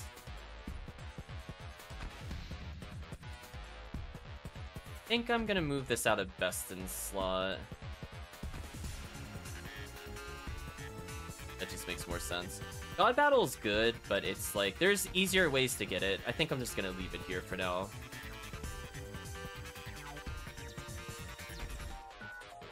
One moment, chat, as I just double check one time to make sure I'm not forgetting anything here. Yeah, like, technically you could farm that on Morfos. I don't, I don't recommend it. Alright, chat, like, you, you could, if you're really desperate. You want that god battle, by all means. Uh, meanwhile, we're to see more Episode 4 privilege with the fantastic Heavenly Power, which adds 55 ATP to your character. So remember those 400 to use items, remember those 600 to use items. Well, with four slots, uh, what is that? If we do the math on that real quick, 220 of that ATP could purely come from these units. So suddenly only getting about 180 ATP between materials and mag and levels doesn't seem that high of a number to achieve anymore. we just get four of those. If chat is wondering why I put some of those niche items there, it's mostly due to the presence of things like Heavenly Power. Although, please note that this is a rare hunt and is terrible. But who knows, maybe it'll happen. Heavenly Power are much easier to farm on higher difficulties, but they're there. Heavenly Luck is also kind of a nice one. Love I put Rare Dwarf on because I forgot what it was called. I could tell when I went back in the notes later where I missed things. So, Heavenly Luck is just another simple 40 to luck. I want to talk about one thing that's actually important to know about. Let's talk about Holy Ray. So this is a rifle. So one, this is one of the only ways to get a sniper on hunters, since normally they can only get that. Um, two, it has an arrest special, which is really, really, really solid. Three, the accuracy is insane. 70 accuracy is crazy. Uh, four, forces can use this. And then number five, I probably should have listed that first, was MST requirement. So this doesn't require you to have any attack power. You just need mind score. So this is kind of a direct upgrade to the Varista that you got earlier, but it might be on a hunt that's kind of annoying to do. Dorphon Eclair is not going to be all that common, but do be aware that it is very easy to farm an ultimate comparatively, and just be aware that this item exists, because this might help for ATP damage. So we have a classic hunt for the defensive units of a God HP from the rare Lillian Caves. We have how you normally get the cure units.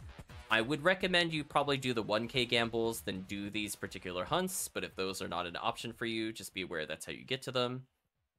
Uh, attribute wall could be farmed in very hard, apparently. Yes, it can. But I don't think it's worth doing in very hard. I think it's worth just doing in hard mode.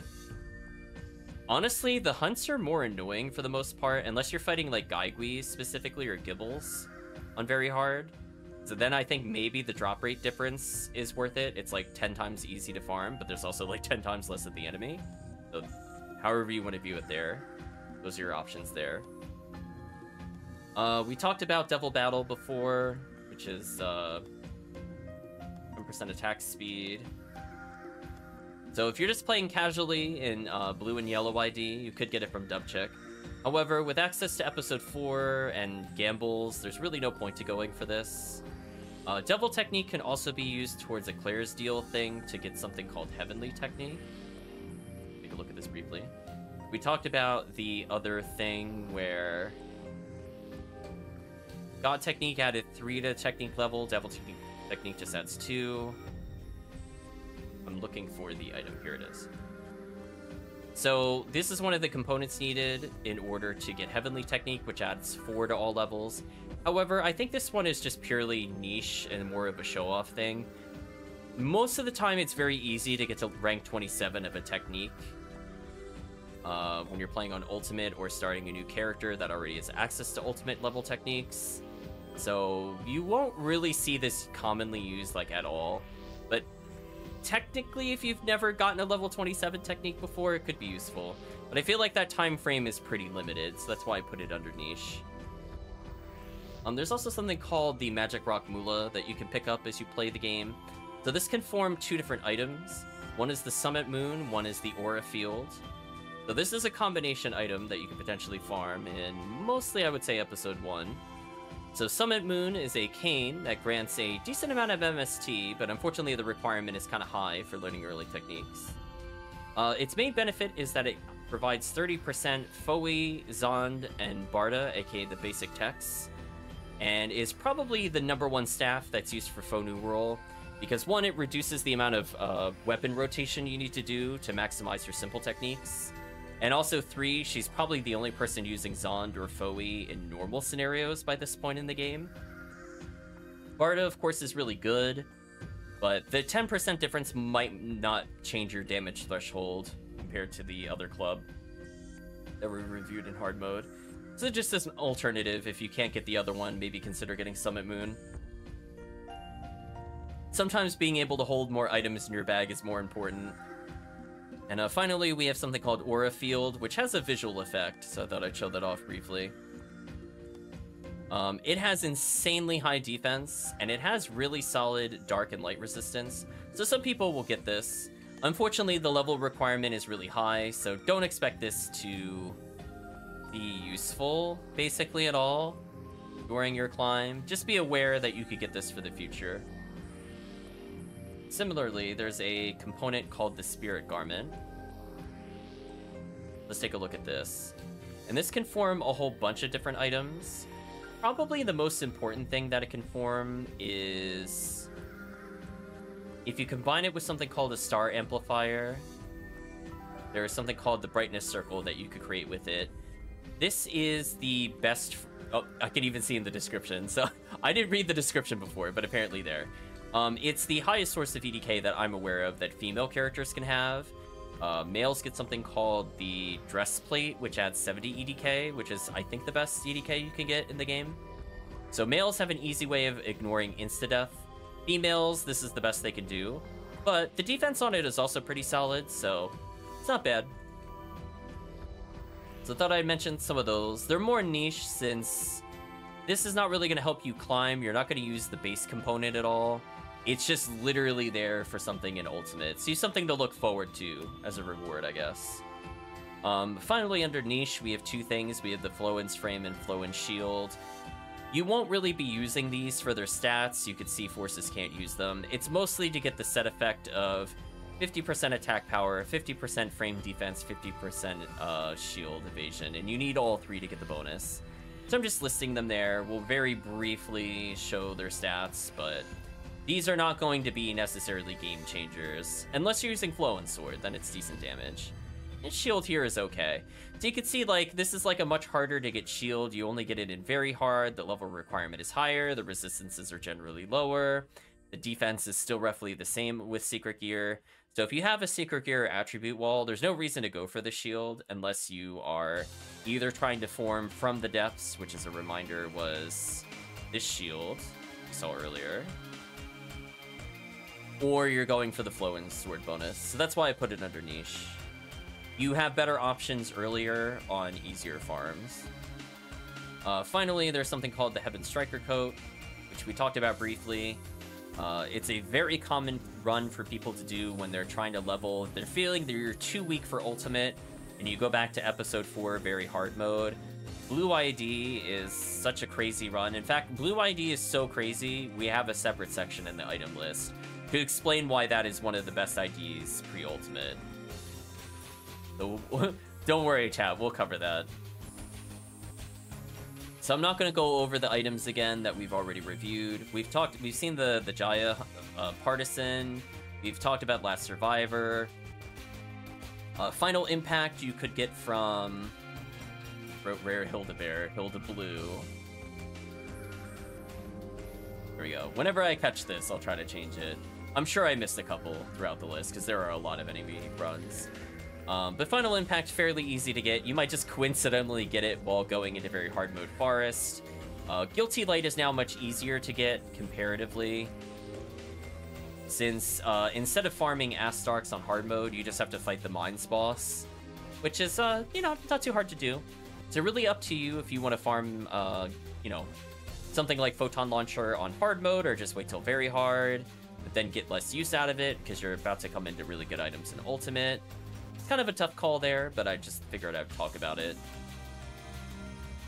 But we're gonna just correct our notes to be as accurate as possible. So we already talked about the branch of Paku Paku. I'm not gonna open that one up again. Heavenly Mind is nice, but it's only available from Dorphon Eclair. Just like it's iffy. This is something you won't farm for it specifically, but if you happen to be leveling in episode 4 as a force on pink ID, which if should be pretty common, honestly, if you're starting pink force, uh, then you know you might just get a nice big buff. So if you manage to not get the canes on uh, hard mode with pink ID, uh, they're basically everywhere in very hard mode with pink ID.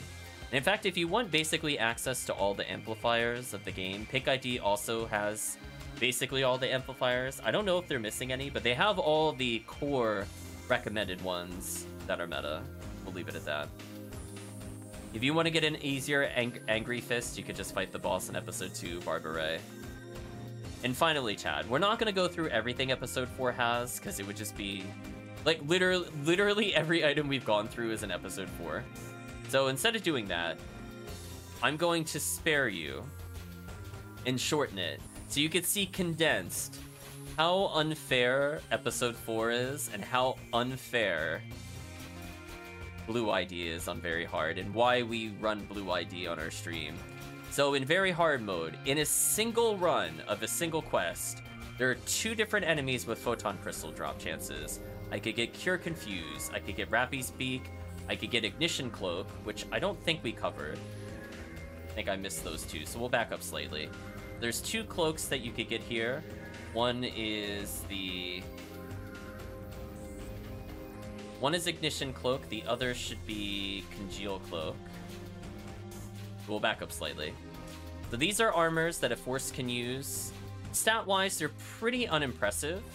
They have a high level requirement, so it's not something you can use immediately in a very hard mode. But it gives 10% damage to all techniques, so they're considered basically best in slot for the character. So not only do you get like a best in slot armor, you get heavenly arms, which is phenomenal when leveling characters. You get heavenly luck, which if you're doing anything with ATP, you're going to be critting all the time. Caduceus is a component for uh, the Mercurius Rod, I think that we looked at earlier. Have Jaya, which again we saw was the, one of the best ones in the game. Heaven Striker Coat, which is one of the best mags in the game. Dragon Scale. So they have basically everything they ever want in one run and a lot of IDs are like that, but Blue ID in particular, episode 4, totally bonkers. So if you're trying to figure out what ID to, if you're making a new force to level other players, and you also want to get relevant items for your characters, uh, definitely pick Blue ID. So I think, chat, we've covered almost all the items. I'm going to skip a few of these. We didn't talk about Yamato. Technically, you can fight Dragon for it but it's not really worth it over the Berserk of Musashi. It's technically stronger. Oh no, this, is the sight down? That's so sad. Oh, there we go. It's technically stronger than Musashi, so I guess if you really don't want to use the Berserk special, it's technically a direct upgrade to Musashi. The only other item I'm going to point out in this list, aside from what we're about to talk about here, Glide Divine. This one is actually insanely good. The requirement is bonkers, so you're probably not going to get this without getting those Heavenly Mines we saw earlier or maxing out a mag, but it has a special where Jellen and Zalure are doubled in range, so you basically hit the whole room. Then, it's one of the only items in the game that offers resistances. Did you know that, chat? Did you know you could get 15 to all resistances? What a great item for a support force, to just not take damage. So hey, if you just want to become near immortal to uh, certain bosses, by all means, equip Glide Divine, laugh at game. 15% damage reduction is huge, plus it also gets 50 to defense. So, really solid tanky rod. It has a gimmick where if you hold it for 10 minutes, you can use the item in your item pack to recover your TP, but it sets your HP to 1. I'm going to be honest with, with you, I've used it once, and that was mostly as a joke. I will let you know it's there. It's not usually used. Again, unless you go AFK, then you might as well just put it on, I guess. Maybe you'll recover stuff.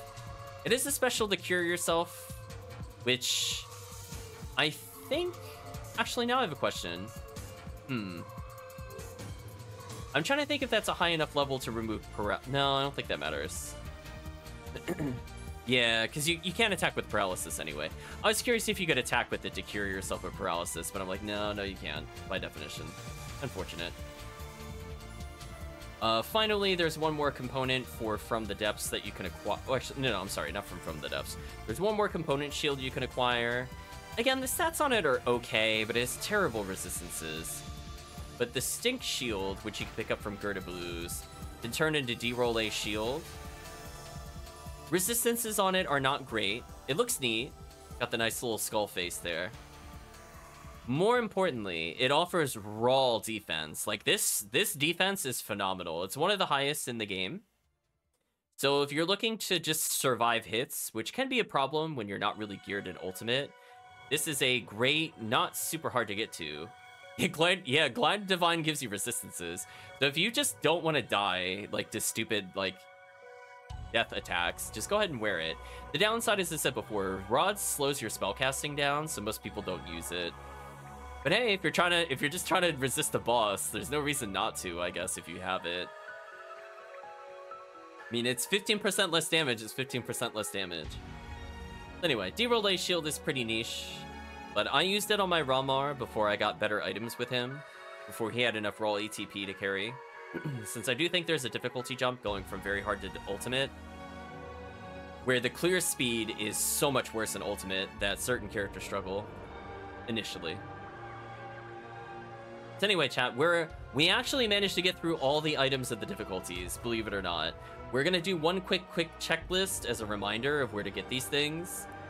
But we've listed out where all the cosmetic items are for people that are looking to copy the look and feel of the items. So like DB Saber we'll turn another item to look like DB Saber, as an example. Again, Ephinea only. I've listed out all the meta locations of all the important amplifiers like Gifoie, Gazan, Rabarta, Rafoie. I've listed out what enemies you have to go against to get uh, photon crystals. If you're curious who gets them, it should be all here.